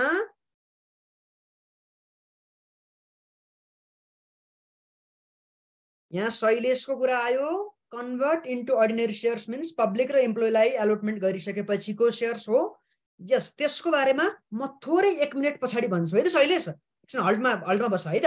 एकछिन एकछिन ध्यान दिएर सुन है? तिम्रो कुरा एकदमै राम्रो छ तर म त्यहाँ पुगेको छैन है म? ठिक छ? Commencement of one year one year पछाडि उसले के गर्न सक्ने रहेछ? आइपिओ इस्यु गर्न सक्ने रहेछ। र जनरल पब्लिकबाट इन्भेस्टमेन्ट त्यो त्यसरी एप्लिकेसन मनी डिमान्ड गर्दै गर्दा कति रकम डिमान्ड गर्नु पर्यो? त। फेस भ्यालुको सबै हो कि के हो? फेस भ्याल्युको सबै हो कि कति रकम बराबरको मात्रै एप्लिकेसन मनी डिमान्ड गर्ने होला? फेस भ्यालुको सबै फेस भ्यालुको सबै भन्ने बित्तिकै भन्ने बित्तिकै तिमीहरूले ध्यान दिने यो सेक्सनलाई companies act section number twenty seven subsection थ्रीसँग link गराउन नभुल्ने। यदि application money hundred percentage demand गर्ने हो भने त्यहाँनिर प्रोस्पेक्टस पब्लिस भएको मितिबाट तिन वर्ष अगाडिको कुरा राखिएको छ। फाइनेन्सियल स्टेटमेन्ट अडिटेड पनि हुनु पर्यो प्लस उसले बिजनेस त्यो ऊ अपरेसनमा पनि हुनु पर्यो। त्यो कुरा भयो भने मात्रै फिफ्टी पर्सेन्टभन्दा बढी एप्लिकेसन मनी के अरे डिमान्ड गर्न सक्छ भनिएको छ। कम्पनीज एक्ट त्यो प्रोभिजनलाई पनि यहाँ ध्यान दिनु पऱ्यो है। त्यो प्रोभिजनको कम्प्लायन्सलाई पनि यहाँनिर ध्यान दिनु पर्यो आइपिओ कहिलेबाट रे? आइपिओ कहिलेबाट कमेन्ट इस्यु गर्न सकिन्छ? हेर्दा IPO कहिलेबाट one year from the commencement of insurance transactions त्यस पछाडि फेस भ्यालुको कति रकम चाहिँ एप्लिकेसन मनीबाट डिमान्ड गर्ने? फेस भ्यालुको हन्ड्रेड पर्सेन्टेज अनि प्रमो जनरल पब्लिकलाई कति रकम कति अमाउन्ट चाहिँ कति पर्सेन्टेज चाहिँ इस्यु एलोटमेन्ट गर्ने? जनरल पब्लिकलाई छुट्याउने? थर्टी पर्सेन्ट अफ द के त? इस्युड क्यापिटल अनि त्यो भनेको एटलिस्ट हो कि म्याक्सिमम हो? थर्टी पर्सेन्टेज एटलिस्ट हो कि म्याक्सिमम हो? एटलिस्ट अनि इम्प्लोइलाई कति? इम्प्लोइलाई कति? त्यो जनरल पब्लिकलाई छुट्याइएको रकमबाट छुट्याइएको सेयरबाट म्याक्सिमम फाइभ पर्सेन्टेज है त? म्याक्सिमम फाइभ पर्सेन्टेजसम्म एलोटमेन्ट त्यो छुट्याउन सकिने रहेछ एलोटमेन्ट गर्न सकिने रहेछ र अब त्यसो भने बाफिया बाफियाले सेक्सन नम्बर इलेभेनमा के भन्छ होला ल भन त बाफियाको सेक्सन इलेभेनले के को बारेमा बोलेको छ ल के भनेको छ बाफिया सेक्सन नम्बर इलेभेनले के भनेको छ फटाफट ओहो। सेलिङ अर प्लेजिङ त्यसको रेस्ट्रिक्सन्स हो। प्रमोटर्सहरूले सेलिङ र प्लेजिङ गर्नको लागि रेस्ट्रिक्सन लगाइएको अवस्था हो। हो कि होइन? पक्का। हो कि होइन? हो। भनेपछि सुरुको पाँच वर्ष भित्रमा के गर्न पाइँदैन? सुरुको पाँच वर्ष जुन ब्याङ्किङ र फाइनेन्सियल ट्रान्जेक्सन कमेन्समेन्ट गर्ने डेडलाइन छ त्यो कमेन्समेन्टको मितिबाट पाँच वर्षसम्म के गर्न पाइँदैन? सेल र प्लेस गर्न पाइँदैन। एमआई राइट सुरुको पाँच वर्ष लकिनी पिरियड पनि भनिन्छ जसलाई। त्यस पछाडि पाँच वर्षभित्रैमा हेर है त पाँच वर्षभित्रैमा कुन सिचुएसन भयो भने चाहिँ नेपाल राष्ट्र ब्याङ्कको एप्रुभल लिएर प्रमोटरहरू बिचमै रहने गरी सेल गर्न सकिन्छ? स्पेसल सर्कमस्टान्सेस अराइज भयो भने नेपाल राष्ट्र ब्याङ्कको प्रायर एप्रुभल लिएर विदिन फाइभ इयर्स पनि सेल गर्न सकिन्छ एमआई राइट सेल गर्न सकिन्छ। भने त्यो स्पेसल सर्कमस्टान्सेस अराइज हुनु पर्यो। भन्ने कुरा त्यहाँ गरिएको छ। यस भेरी गुड अनि अब अर्को पाटो हेर पाँच वर्ष पछाडि पाँच वर्ष पछाडि अप टु टेन इयर्ससम्म चाहिँ के हुनसक्छ? अब चाहिँ प्रमोटर्सको आफ्नो होल्डिङ चाहिँ तिम्रो के अरे बेच्न सक्छन् हो प्रमोटरले अब? जनरल पब्लिकलाई होइन जनरल पब्लिकलाई होइन। जनरल पब्लिकमा कन्भर्सन हुने बेला भएको छैन। पाँच वर्ष दस वर्ष पछाडि मात्रै जानुपर्छ।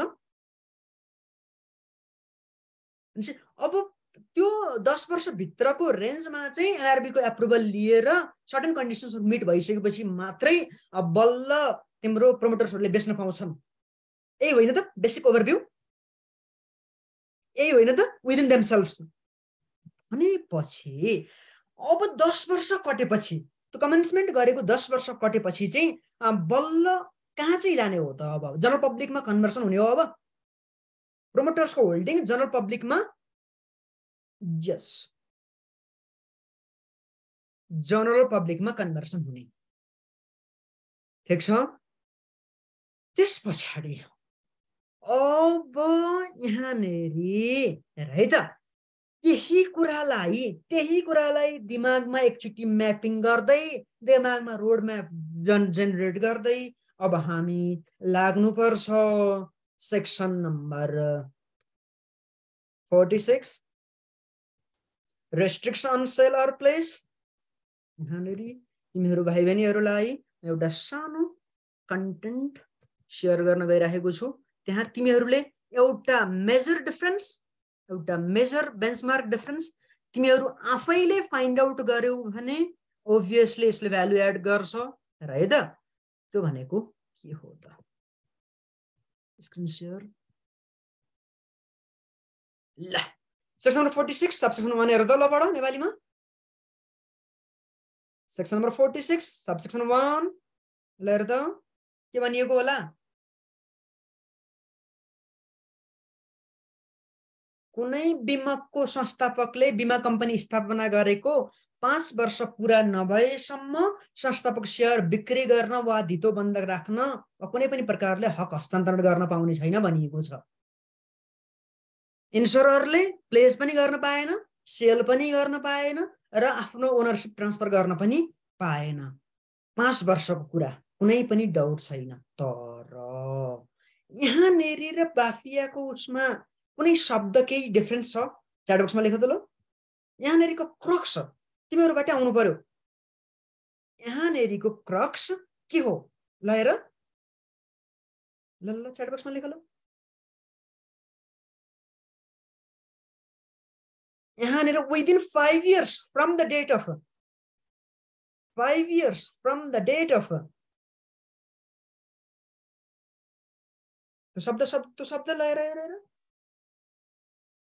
कुनै बिमकको संस्थापकले बिमा कम्पनी स्थापना गरेको?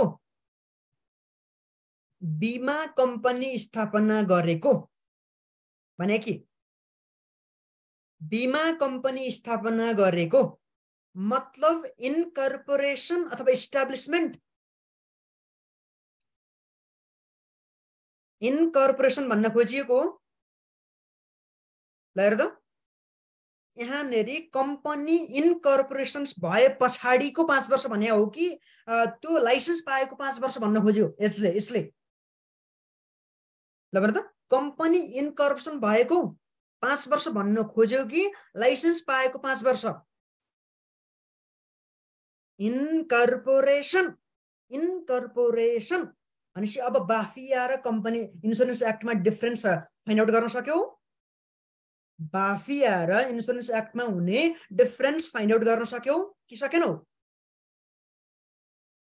ओभियसली है त यहाँनिरको यो कुरालाई के गर्नु पर्यो हामीहरूले आइडेन्टिफाई गर्न सक्नु पर्यो यो कुरालाई क्रक्स गर्न यहाँनिर आइडेन्टिफाई गर्न सक्नु पर्यो बाफियामा कमेन्समेन्ट भनिएको छ the promoter of the insurance shall not be entitled to sell replace or transfer any shares under his or her ownership for at least five years from the date of establishment यहाँनिर commencement होइन यहाँनिर के हो त from the date of establishment घटमा point सुरुको पाँच वर्ष lock in period त्यस पछाडि बाफियामा लक इन पिरियडको एक्सेप्सन छ हो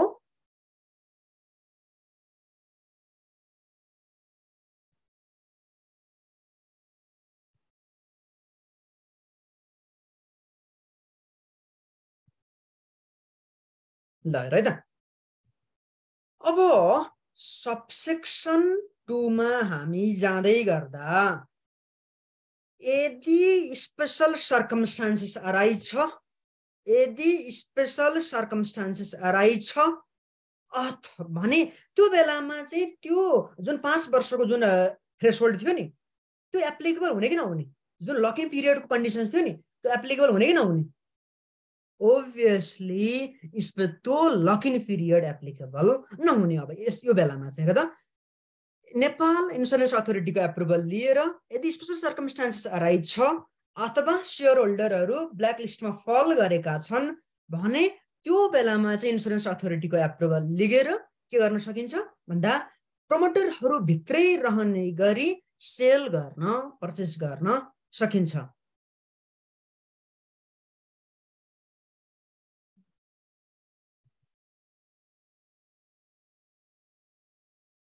ल अब यो के अरे तिम्रो स्पेसल सर्कमस्टान्सेस पछाडि एनआइएले है त अब यहाँनिर थोरै कुराहरू बुझ conditions and limitations for sell or pledge of shares by the promoters of the insurer after five years from the date of establishment of the insurance company shall be as prescribe भनेपछि अब पाँच वर्ष lock in period भनेको कस्तो हो त?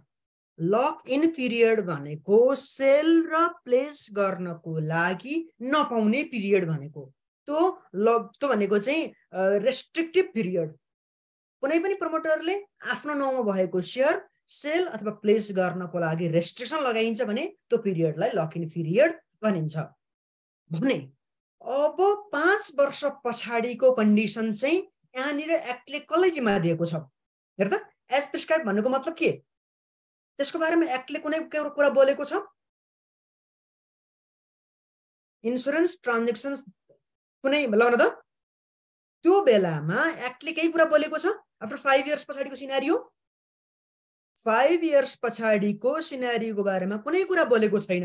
भने त्यसका लागि एज प्रिस्क्राइब भन्ने चिजहरूलाई जस्टिफाई गर्नको लागि इन्सुरेन्स गाइडलाइन इन्सुरेन्स रेगुलेसन आउनुपर्छ। जुन इन्सुरेन्स रेगुलेसन्स अहिलेसम्म आएको अवस्था छैन। ठिक छ? एसका भन्नेको मतलब त्यसलाई इम्प्लिमेन्टेसन गर्नको लागि छुट्टै इन्सुरेन्स रेगुलेसन आउनुपर्छ। त्यो इन्सुरेन्स रेगुलेसन आजसम्म आएको अवस्था छैन। यो त भयो सब्सन थ्रीसम्म चाहिँ सेक्सन नम्बर इलेभेन बाफियाकै कुरालाई हामीले यहाँनिर थोरै मोटामोटी लिङ्क गर्न सक्छौँ।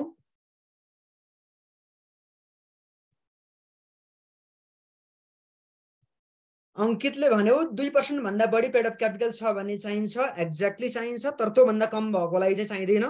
ठिक छ? अब सेक्सन नम्बर टुवेल्भ बाफियामा के थियो होला? बाफियाको सेक्सन नम्बर टुवेल्भमा के छ हेर त च्याट बक्समा लेख। बाफियाको सेक्सन नम्बर टुवेल्भमा के छ? आज आज हामी भनेको यही सेल र प्लेस अनि त्यस पछाडि क्यापिटलको पार्टसम्म हामी पुग्छौँ। ठिक छ? सेयरको डिलिङमा सेयरको डिलिङमा रेस्ट्रिक्सन्स एम आई राइट सेयरको डिलिङमा रेस्ट्रिक्सन्स एकचोटि एकचोटि रिक्याप गर है? कन्सेप्ट रिक्याप गर। ठ्याक्कै एज इट इज उही नै हो लगभग लगभग। हन्ड्रेड पर्सेन्टेज त भन्दैन म तर मेजोरिटी पोर्सन्स उही नै छ। त्यो सेक्युरिटिजमा डिल्ड गर्न कसले नपाउने?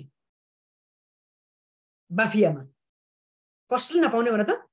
डाइरेक्टर सिइओ अडिटर अनि चिफ एक्जिक्युटिभ कम्पनी सेक्रेटरी अथवा any person directly involve in management and accounting function. Am I right यिनीहरूले चाहिँ नपाउने हो कि होइन? यिनीहरूले चाहिँ नपाउने। के गर्न नपाउने त? के गर्न नपाउने? Sale pledge purchase gift exchange. Am I right त्यो काम गर्न नपाउने अथवा अरू कसैलाई त्यस्तो काम गर्न लगाउन नपाउने। हो कि होइन? र कसको कुन कम्पनीको सेक्युरिटी चाहिँ हो त? कुन जुनसुकै कम्पनीको पनि हो कि के आफ्नो मात्रै हो कि के होला? कुनको? कुनको? प्र्याक्टिकल लाइफमा एप्लिकेबल हुन्छ। इन्साइडर ट्रेडिङलाई कन्ट्रोल गर्नको लागि यो प्रोभिजन राखिएको हो। कि त आफ्नो ब्याङ्क अथवा फाइनेन्सियल इन्स्टिट्युसन्स कि त त्यसको सब्सिडायरी कम्पनी पक्का हो नि? अनि कसको नाउँमा होल्डिङ भएको? कसको नाउँमा होल्डिङ भयो? बाफिया अनुसार जाउँछ जो कसको नाउँमा होल्डिङ भएको? कि त आफ्नो नाउँमा? कि त उसको फ्यामिली मेम्बरको नाउँमा? कि त कुनै पनि बडी कर्पोरेट जहाँ चाहिँ उसको सिग्निफिकेन्ट होल्डिङ छ। त्यही हो नि त? त्यही हो नि त? र कहिलेसम्म चाहिँ यो रेस्ट्रिक्सन एप्लिकेबल हुन्छ त? ल भनौँ मलाई। कहिलेसम्म चाहिँ त्यो रेस्ट्रिक्सन एप्लिकेबल हुन्छ? कि त ऊ आफ्नो पोस्टमा रहन्जेलसम्म आफ्नो पोस्टमा होल्डिङ गरुन्जेलसम्म र retirement भएपछिको one year am I right retirement भएपछिको one year आफ्नो पोस्टमा होल्ड गर्दै गर्दा प्लस रिटायरमेन्टको वान इयर हो नि पक्का हो नि? त्यस पछाडि चाहिँ यो एप्लिकेबल हुँदैन। भनेपछि अब पक्कै पनि मैले यो जोड्नुको आशय इन्सुरेन्स एक्टमा पनि कहीँ न कहीँ यसको लिङ्क हुनु पर्यो कि परेन? इन्सुरेन्स एक्टमा पनि कहीँ न कहीँ यसको लिङ्क हुनु पर्यो है त। अब इन्सुरेन्स एक्टमा यसको लिङ्क कसरी आएको छ त? अरू सबै चिज एज इट इज अरू सबै चिज एज इट इज ल हेर त यहाँनिर सबसेक्सन फोर हेर त कसलाई चाहिँ यो रेस्ट्रिक्सन एप्लिकेबल नहुने त्यो आइडेन्टिफाई गर त। जस्तो मैले बाफियामा भने तिम्रो डाइरेक्टर सिइओ त्यस पछाडि कम्पनी सेक्रेटरी अडिटर अनि कुनै पनि व्यक्ति जुन चाहिँ म्यानेजमेन्ट अथवा अकाउन्टिङ फङ्सनमा इन्भल्भ भएको छन् भनेको छ उनीहरूको लागि त्यो रेस्ट्रिक्सन्स तर यहाँ कसको लागि रेस्ट्रिक्सन्स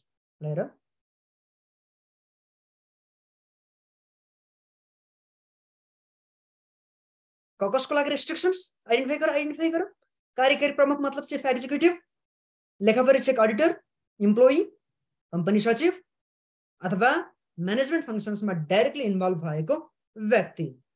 ठिक छ? भनेपछि यहाँनिर चाहिँ तिम्रो अडिटरको कुरा सरी अडिटर भन्न आयो। डाइरेक्टरको पार्ट चाहिँ यहाँनिर यो एक्टमा छैन। सञ्चालक। ठिक छ?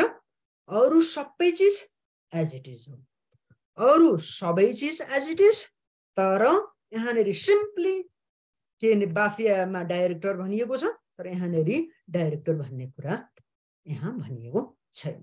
भने chief executive auditor employee company secretary अथवा कुनै पनि व्यक्ति म्यानेजमेन्टमा अकाउन्टमा एकाउन्टिङ फङ्सनमा डाइरेक्टली इन्भल्भ भएको छ उनीहरूले के गर्न पाउने? सेल प्लेस मोर्गेज सबै चिज as it is as it is हो। कसको नाउँमा? उसको नाउँमा उसको आफ्नो फ्यामिली मेम्बरको नाउँमा अथवा कुनै पनि कम्पनी जहाँ चाहिँ उसले कन्ट्रोल गरेको छ। त्यही एक यहाँनिर कुरा थोरै लोपोल छ ठिक छ? कहिलेसम्म त वान इयर आफ्नो पोस्टमा हुन्जेल र आफ्नो पोस्टबाट रिटायर भएको मितिले एक वर्षसम्म। तर सर्टेन चिजहरूमा यहाँनिर के गरिएको छ त माथिको जुन डिलिङ छ त्यो डिलिङको पार्टलाई चाहिँ यहाँ रेस्ट्रिक्सन लगाइएको छ जस्तो मानौ। बोनस सेयर इस्यु गर्नु पर्यो। ठिक छ?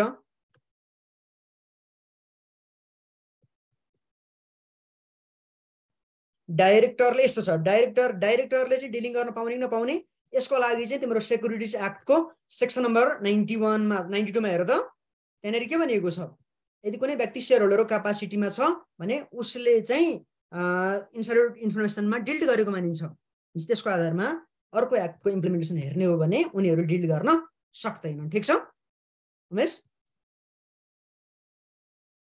employee share bonus share right share company company merge ठ्याक्कै कम्पनी मर्जरमा जाँदै गर्दा नयाँ सेयर इस्यु गर्नु पर्यो अथवा टेक ओभर यस्ता डिफ्रेन्ट सिचुएसनहरूमा चाहिँ हामीले यो सेक्सन्सको त्यो रेस्ट्रिक्टिभ प्रोभिजन के हुँदैन एप्लिकेबल हुँदैन राइट सेयर इम्प्लोइलाई छुट्याउने सेयर नयाँ सेयर इस्यु गर्नु पर्यो अथवा एक्विजिसन मर्जर ट्रान्सफर सेल प्लेसको कुराहरूमा गर्दै गर्दा इन्सुररको के भन्छ अरे एनआइएको अथोरिटी एनआइएको डाइरेक्टिभ्सलाई इम्प्लिमेन्टेसन गर्नको लागि पनि यहाँनिर यो सेक्सन्सको रेस्ट्रिक्टिभ प्रोभिजन एप्लिकेबल नहुने रहेछ। के छ ल? अब भनेपछि कहीँ न कहीँ हेर न मैले सुरुको जुन बोर्डको के अरे एनआइएको फर्मेसन्स त्यस पछाडि त्यहाँको बोर्डको कम्पोजिसन अनि त्यस फङ्सन्स ड्युटिज एन्ड पावर्सको कुराहरू कहीँ न कहीँ त्यो अकाउन्ट्स र अडिटसम्म पुग्दै गर्दा तिमीहरूलाई सेक्युरिटिज एक्टको झल्को आएन। ल भन त। ल त ठ्याक्कै त्यसको त्यस त्यसको त्यसको कुरा छ है। र अब यस पछाडि मैले यो पाटो भन्दै गर्दा जब क्यापिटलको कुरा आयो जब एलोटमेन्टको कुराहरू आयो त्यो भनिसकेपछि चाहिँ बाफियाको झझल्को आयो नि प्रायर एप्रुभल पक्का हो? प्रायर एप्रुभलदेखि लिएर लाइसेन्सिङको पाटोहरूसम्म अहिलेसम्म हामी पुग्दै गर्दा सेल प्लेसको कुरासम्म पुग्दै गर्दा भनिसकेपछि इन्सुरेन्स एक्ट आफैमा नयाँ एक्ट त हो तर सम्झिन सजिलो हिसाबको लागि चाहिँ मैले के भन्छु भने यो बाफिया र तिम्रो सेक्युरिटिज एक्टसँग हामीले कहीँ न कहीँ लिङ्क गर्न जान्यौँ लिङ्क गर्न सिक्यौँ भने यो एक्ट आफैमा त्यति धेरै गाह्रो चाहिँ ठिक छ? घटना पोइन्ट सकभरसम्म मैले तिमीहरूलाई लिङ्क म्यानरमा जाने कोसिस गरिराखेको अवस्था छ। ल। अब एउटा सानो मुक्तक सुनाउँछु अनि फेरि त्यस पछाडि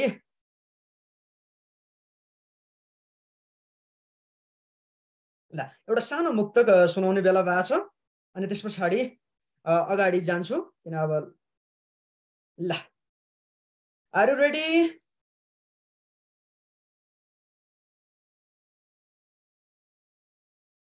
ल। माया प्रेमको कुनै कुनै आकार हुन्छ प्रिय। माया प्रेमको कुनै कुनै आकार हुन्छ प्रिय। धोका पाएरी मनमुटु लाचार हुन्छ प्रिय। माया प्रेमको कुनै कुनै आकार हुन्छ प्रिय। धोका पाएरी मनमुटु लाचार हुन्छ प्रिय। विश्वास गरेर बस आउँछ विश्वास गरेर बस अवश्य आउँछ त्यो दिन। मनभित्रबाट देखेको सपना साकार हुन्छ प्रिय। मनभित्रबाट देखेको सपना साकार हुन्छ प्रिय। ल अब भनेपछि भाइ बहिनीहरूको सिए जर्नी तिम्रो ड्रिम हो कि विस मलाई बताऊ? यो तिम्रो सिए पढ्ने जर्नी ड्रिम हो कि विस हो? ल भन ड्रिम ड्रिम डिजायर डिजायर हो। डिजायर छ कि छैन? डिजायर छ कि छैन? छ? डिजायर छ। डिजायर मात्रै होइन come on guys you have burning desire desire मात्रै होइन इच्छाले मात्रै हुँदैन।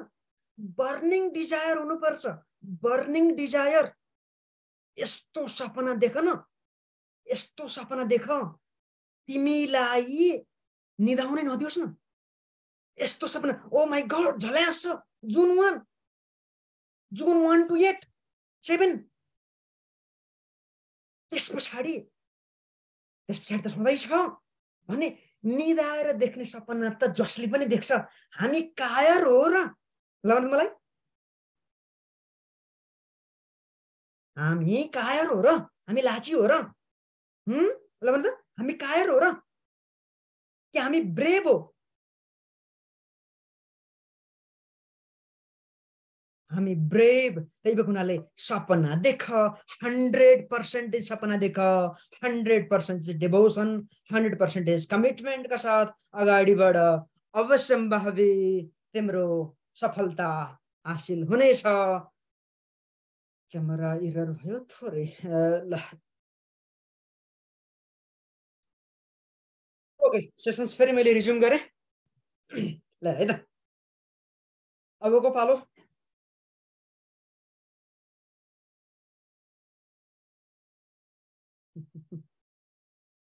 ल अबको पालो हामी जान्छौँ फेरि इन्सुरेन्स एक्टलाई नै क्यारी अन गर्नु छ। अब चाहिँ के के रिजर्भ फन्डहरू क्रिएट गर्ने? त्यसको बारेमा हामीहरू पढ्छौँ ठिक छ? जो चाहिँ तिमीहरूले अलरेडी पनि insurance act two thousand forty नाइनमा पनि पढेको कुराहरू नै छ। त्यसमा त थोरै थोरै मात्रै चिजहरू छ। ठिक छ ल। अब minimum paid up capital meet गर्ने कुरा। कसले प्रिस्क्राइब गर्छ अरे ल भन त। हरेक इन्सुरेन्स कम्पनीको मिनिमम पेड अफ क्यापिटल कसले प्रिस्क्राइब गर्छ? एनआइएले र एनआइएले प्रिस्क्राइब गरेको minimum paid up capital comply गर्नुपर्ने उसको ड्युटी हो कि होइन? त इन्सुररको ड्युटी हो कि होइन? ओभियसली इन्सुररको ड्युटी हो भने एज पर नेसेसिटी त्यो इन्सुररले के अरे एनआइएले इन्सुररलाई गाइडलाइन डाइरेक्सन दिन सक्छ सक्दैन? ल भन त। एनआइएले डाइरेक्सन दिन सक्छ सक्दैन होला। ओभियसली सक्छ। ओभियसली सक्छ भने किन त्यही भएर त ऊ रेगुलेटरी भयो त्यही भएर त ऊ रेगुलेटरी बडी भयो होइन त ओके ल त्यसो भने यहाँनिर पहिलो अवस्था छ पेड अफ क्यापिटल बढाउन आदेश दिन सक्छ भन्ने कुरा छ ध्यान दियो है त पेड अफ क्यापिटल इन्क्रिमेन्ट गर्ने कुरा र त्यस पछाडि रिजर्भको बाटो छ यहाँनिर अब भाइ बहिनीहरूले थोरै स्क्रिनमा फोकस गर्ने यहाँनिर चाहिँ के छ त भन्दाखेरि क्यापिटल एन्ड फन्डको बारेमा छ अबको पार्ट देखिएको छ कन्टेन्ट देखिएको छ प्लिज कन्टेन्ट देखिएको छ नि? होइन ओके ल। क्यापिटल and फन्डको बारेमा छ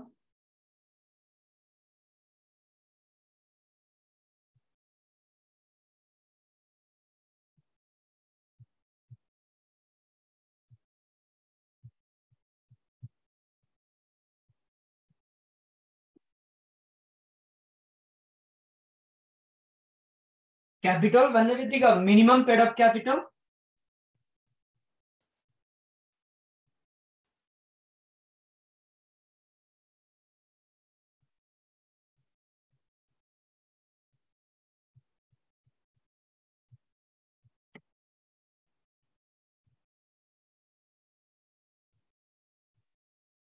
त्यसको इन्क्रिमेन्ट त्यस पछाडि मिनिमम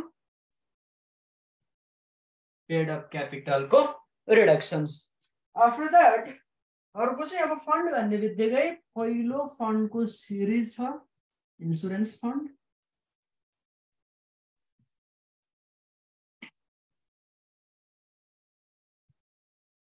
त्यस पछाडि अर्को भनेको कम्पलसरी रिजर्भ फन्ड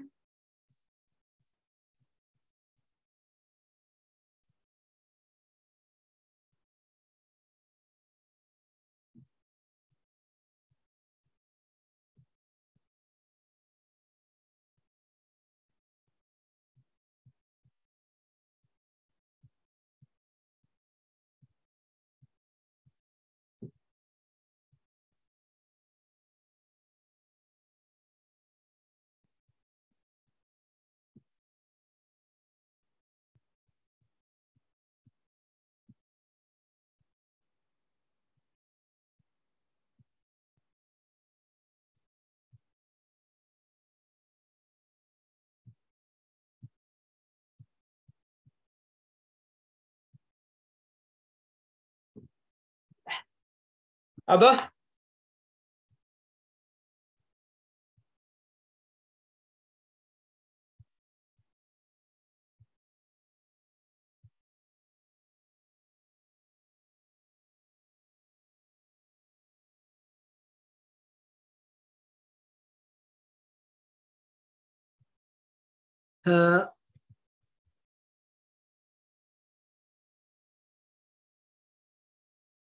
ल अब भाइ बहिनीहरूले एकचोटि स्क्रिनमा एकचोटि फोकस गर त।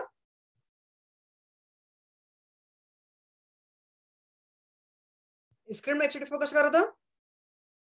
स्क्रिनमा एकचोटि फोकस गर। त्यहाँनिर क्यापिटल भनेको मिनिमम पेड अफ क्यापिटल बोर्डले सरी एनआइएले प्रिस्क्राइब गर्छ। त्यस पछाडि त्यसको इन्क्रिमेन्ट गर्न रिडक्सन्स गर्नको लागि र अर्को भनेको इन्सुरेन्स फन्ड छ। र compulsory reserve fund catastrophic fund र क्लेम सेटलमेन्ट र रिजर्भ फन्ड भन्ने छ। ठिक छ? मैले भने पेड अफ क्यापिटलको कुरा एकचोटि म फेरि अपडेटेड डाटाहरू हेर्छु त्यसको आधारमा म फेरि नेक्स्ट क्लासमा तिमीहरूलाई अब इन्फर्मेसन दिन्छु। ठिक छ? ल अब minimum paid up capital prescribe गर्छ त्यसको आधारमा इन्क्रिमेन्ट गर्नको लागि कसले आदेश दिने हो?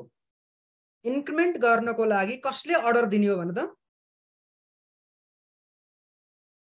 इन्क्रिमेन्ट गर्नको लागि नेपाल इन्सुरेन्स अथोरिटीले के गर्ने हो? आदेश दिने हो। अब त्यसो हो भने उसले कुन कुन सिचुएसनमा चाहिँ आदेश दिन्छ भन्दाखेरि देशको आर्थिक अवस्था क्यापिटल मार्केटको सिचुएसन्स अब इन्सुररले तिर्नुपर्ने लाइबिलिटीको पोर्सन्स बढ्दै गएको छ भने पेड अफ क्यापिटल बढ्नुपर्छ कि बढ्नु पर्दैन होला? उसको लाइबिलिटी चाहिँ बढ्दै जाने अनि क्यापिटलको पोर्सन चाहिँ एज इट इज हुने हो भने त्यो त फेरि भोलि राम्रो इन्डिकेटर त होइन कम्पनीको लागि पनि। ठिक छ? देशको इकोनोमी क्यापिटल मार्केटको सिचुएसन्स त्यस पछाडि फाइनेन्सियल सिचुएसन कस्तो छ त इन्स्योररको त्यसको आधारमा उसले के गर्छ?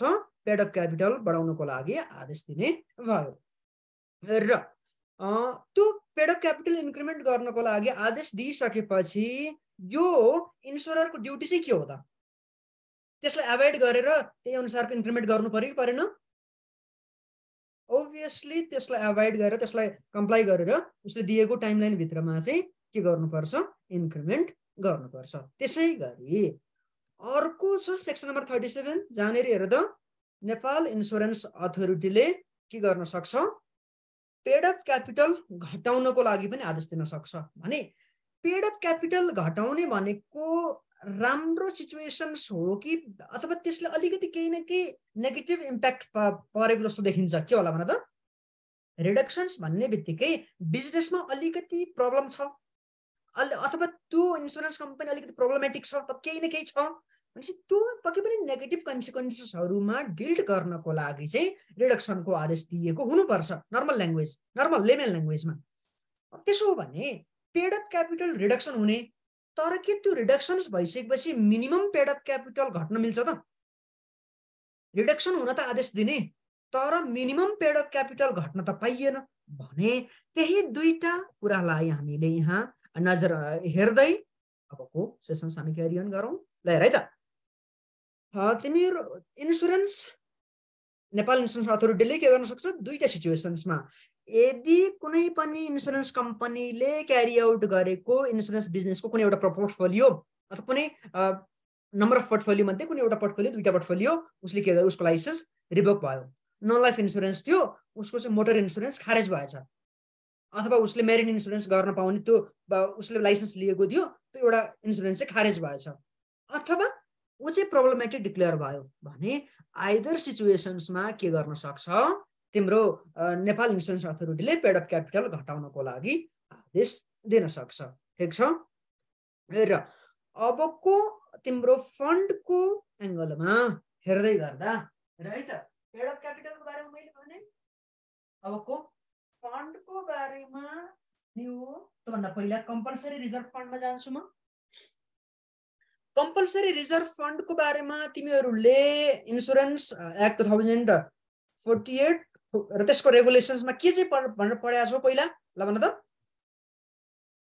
कम्पलसरी रिजर्भ फन्डमा ल बताऊ।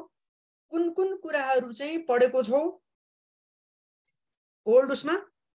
ओल्ड कन्टेन्टमा बताऊ बताऊ बताऊ। लाइफ इन्सुरेन्स कम्पनीको केसमा के छ? नन लाइफको केसमा के छ? त्यसको बारेमा बताऊ।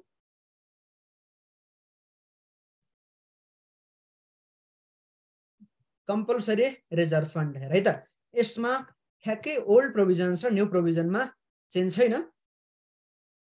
यसमा ओल्ड प्रोभिजन र न्यू प्रोभिजनमा चेन्ज त्यति धेरै छैन।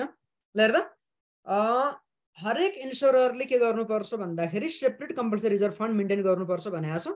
तर लाइफ इन्सुरेन्स बिजनेस अपरेट गर्नेले चाहिँ एक्चुअरीले जति बराबरको उसको लाइबिलिटी हो त्यति बराबरको चाहिँ एउटा लाइफ इन्सुरेन्स फन्ड क्रिएट गर्नुपर्छ ठिक छ उसले एक्चुअरीले तोक तोकेको भन्दा प्रिस्क्राइब गरेको भन्दा कम नहुने गरी लाइफ इन्सुरेन्स फन्ड के गर्नुपर्छ? उसले इस्टाब्लिस गर्नुपर्छ। यो भनेको लाइफ इन्स के अरे लाइफ इन्सुरेन्स बिजनेस अपरेट गर्नको लागि हो कि नन लाइफ बिजनेस अपरेट गर्ने इन्सुररको लागि हो भने त clause A clause A life insurance business operate गर्नको लागि। तर क्लज बी क्लज बी र सी कसको लागि हो? नन लाइफ इन्सुरेन्स अपरेट गर्नको लागि र नन लाइफ इन्सुरेन्स अपरेट गर्नेले आफ्नो नेट प्रफिटको कति रकम चाहिँ एलोकेसन गर्नुपर्छ होला जबसम्म पेड अफ क्यापिटल बराबरको त्यो अमाउन्ट मिट हुँदैन तबसम्म कति अमाउन्ट एलोकेसन गर्नुपर्छ होला भने त नेट प्रफिटको यति मेरो अलरेडी पढिसकेको हुनुपर्छ insurance act two thousand forty नाइनमा पनि यो कुराहरू छ रेगुलेसन्स अन्तर्गत जोडेर फिफ्टी पर्सेन्टेज तर कहिलेसम्म कहिलेसम्म जबसम्म पेड अफ क्यापिटल मिट हुँदैन त्यो प्रफिट एलोकेसन गर्दै गर्दा। त्यसै गरी अब अर्को भनिएको छ नेट इन्सुरेन्स प्रिमियमको केही सर्टन प्रपोर्सन्स जुन चाहिँ नेपाल इन्सुरेन्स अथोरिटीले प्रिस्क्राइब गरे अनुसारको डिटेल छ यसमा चाहिँ अब सबै उसलाई छोडिदेऊ। ठिक छ? नन लाइफ इन्सुरेन्स केसमा नेट इन्सुरेन्स प्रिमियम कति छ? त्यसको पर्सेन्ट केही रकम चाहिँ छुट्टै फन्डमा राख्नुपर्छ भनेको छ। तर कति राख्ने के राख्ने त्यो चाहिँ उसले के अरे नेपाल इन्सुरेन्स अथोरिटीले तोकेमा चाहिँ हुनेछ उसको उसलाई तोक्न छोड्यो उसको डिस्कसनमा डिपेन्डेन्ट हुने भयो। र अब यो सँगै नेपाल के अरे इन्सुररले अरू फन्ड इस्टाब्लिस गर्न सक्ने नसक्ने? ल भन त। यो कम्पलसरी रिजर्भ फन्डको साथसाथै अरू फन्डहरू इस्टाब्लिस गर्न कुनै प्रब्लम छ? कि छैन? अरू फन्ड इस्टाब्लिस गर्नको लागि कुनै पनि प्रब्लम छैन। त्यस पछाडि क्याटास्ट्रफी भने के हो? ल त क्याटास्ट्रफी मतलब के होला? क्याजुअलिटी क्याटास्ट्रफी मतलब क्याजुअलिटी इभेन्ट बिभेन्ट कन्ट्रोल इमर्जेन्सी ठिक छ? यस भनेपछि इभेन्ट बिभेन्ट कन्ट्रोलमा त्यस्तो केही इभेन्ट भयो भने त्यस्तो इभेन्टलाई पनि ट्रिगर गर्नको लागि एनआइएले तोके अनुसारको चाहिँ रकम त्यहाँनिर के गर्नुपर्छ छुट्याउनु पर्छ जस्तो अब अनकन्ट्रोलेबल इभेन्ट जस्तो अर्थक्वेक भयो। त्यस पछाडि कोभिड यस्तै क्याजुअलिटी भयो भने त्यो बेलामा पनि त्यस्तो सिचुएसन्सलाई ट्याकल गर्नको लागि क्याटास्ट्रोफी रिजर्भ मेन्टेन गरिन्छ। क्याटास्ट्रोफी फन्ड मेन्टेन गरिन्छ। र आजको सेसन्सको हामी सायद लास्ट सेक्सनमा छौँ। सेक्सन नम्बर फोर्टी वान हेर त claim settlement fund claim settlement fund तिमीहरूले अनएक्सपायर्ड रिक्स रिजर्भ भन्ने कन्सेप्ट पढ्यौ अकाउन्टमा युआरआर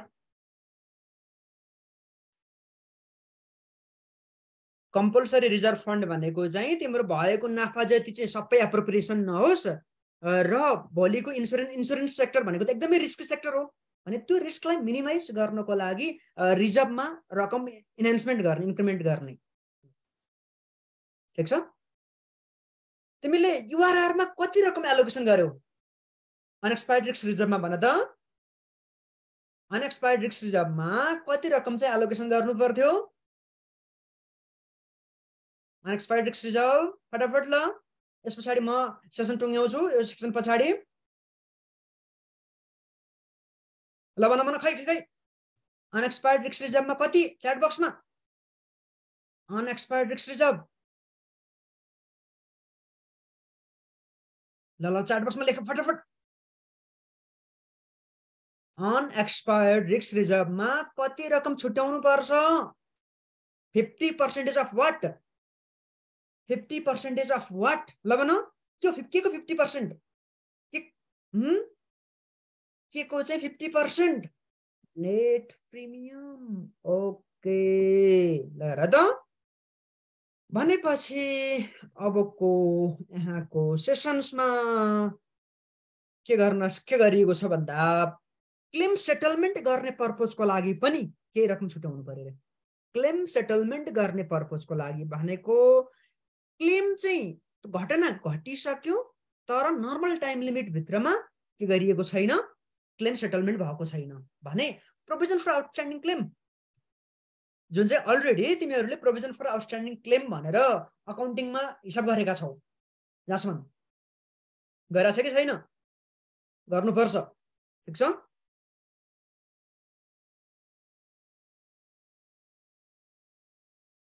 Hundred percentage outstanding claim. त्यसको ठिक छ ल भनेपछि अब त्यो आउटस्ट्यान्डिङ क्लेमलाई सेटलमेन्ट गर्नको लागि पनि के गरिन्छ त भन्दा सेपरेट यो reserve claim settlement fund establish गर्नुपर्छ। त्यसै गरी कतिपय अवस्थामा लेट चाहिँ तिम्रो गाडी एक्सिडेन्ट भयो तर गाडी एक्सिडेन्ट भइसकेपछि आजको आजै इन्सुरेन्स कम्पनीमा त्यो इन्फर्मेसन पुग्छ हो। कि अलिकति सर्टिन टाइम लाग्छ होला।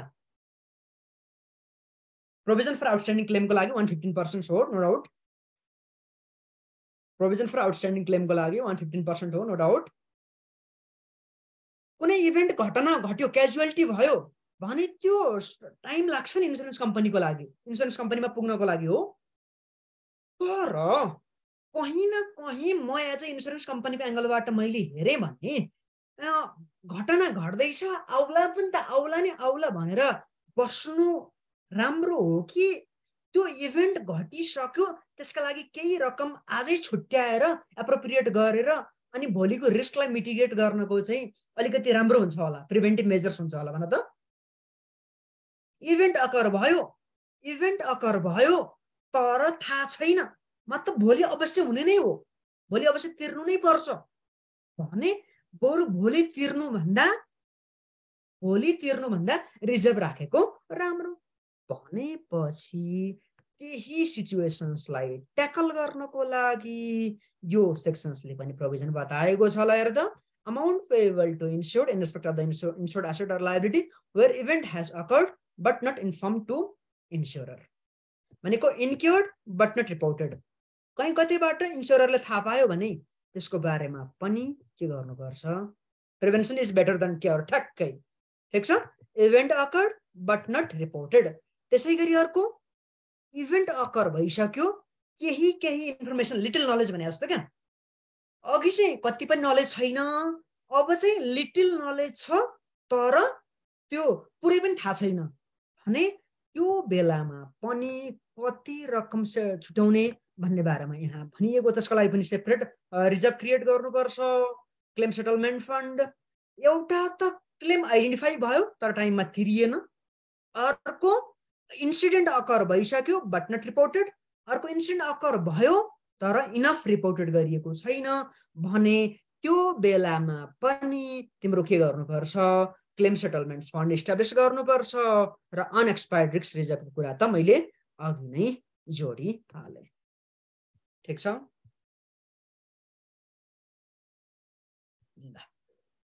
भाइ बहिनीहरू लगभग आजको सेसन्सको हामी लगभग लगभग इन्डमा छौँ। र भाइ बहिनीहरूको सहजताको लागि यो कन्टेन्टको लास्टमा हेर त टेस्ट यर सेल्फ सेक्सन भन्ने छ। यो कन्टेन्टको लास्टमा टेस्ट यर सेल्फ सेक्सन भन्ने छ। एकचोटि हेर टेस्ट यर नलेज। छ कि छैन? लास्टमा हेर्दा कन्टेन्टको लास्टमा।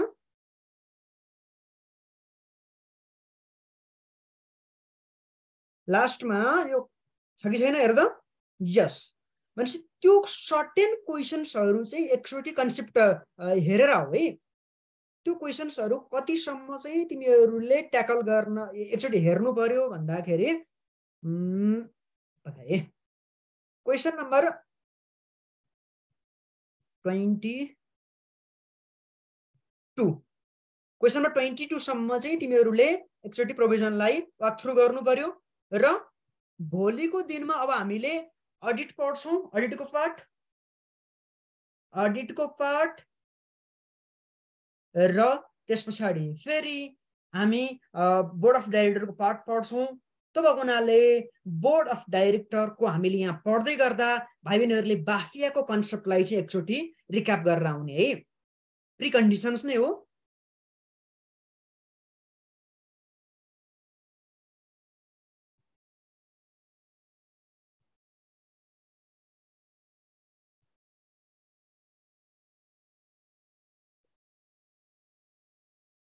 Yes.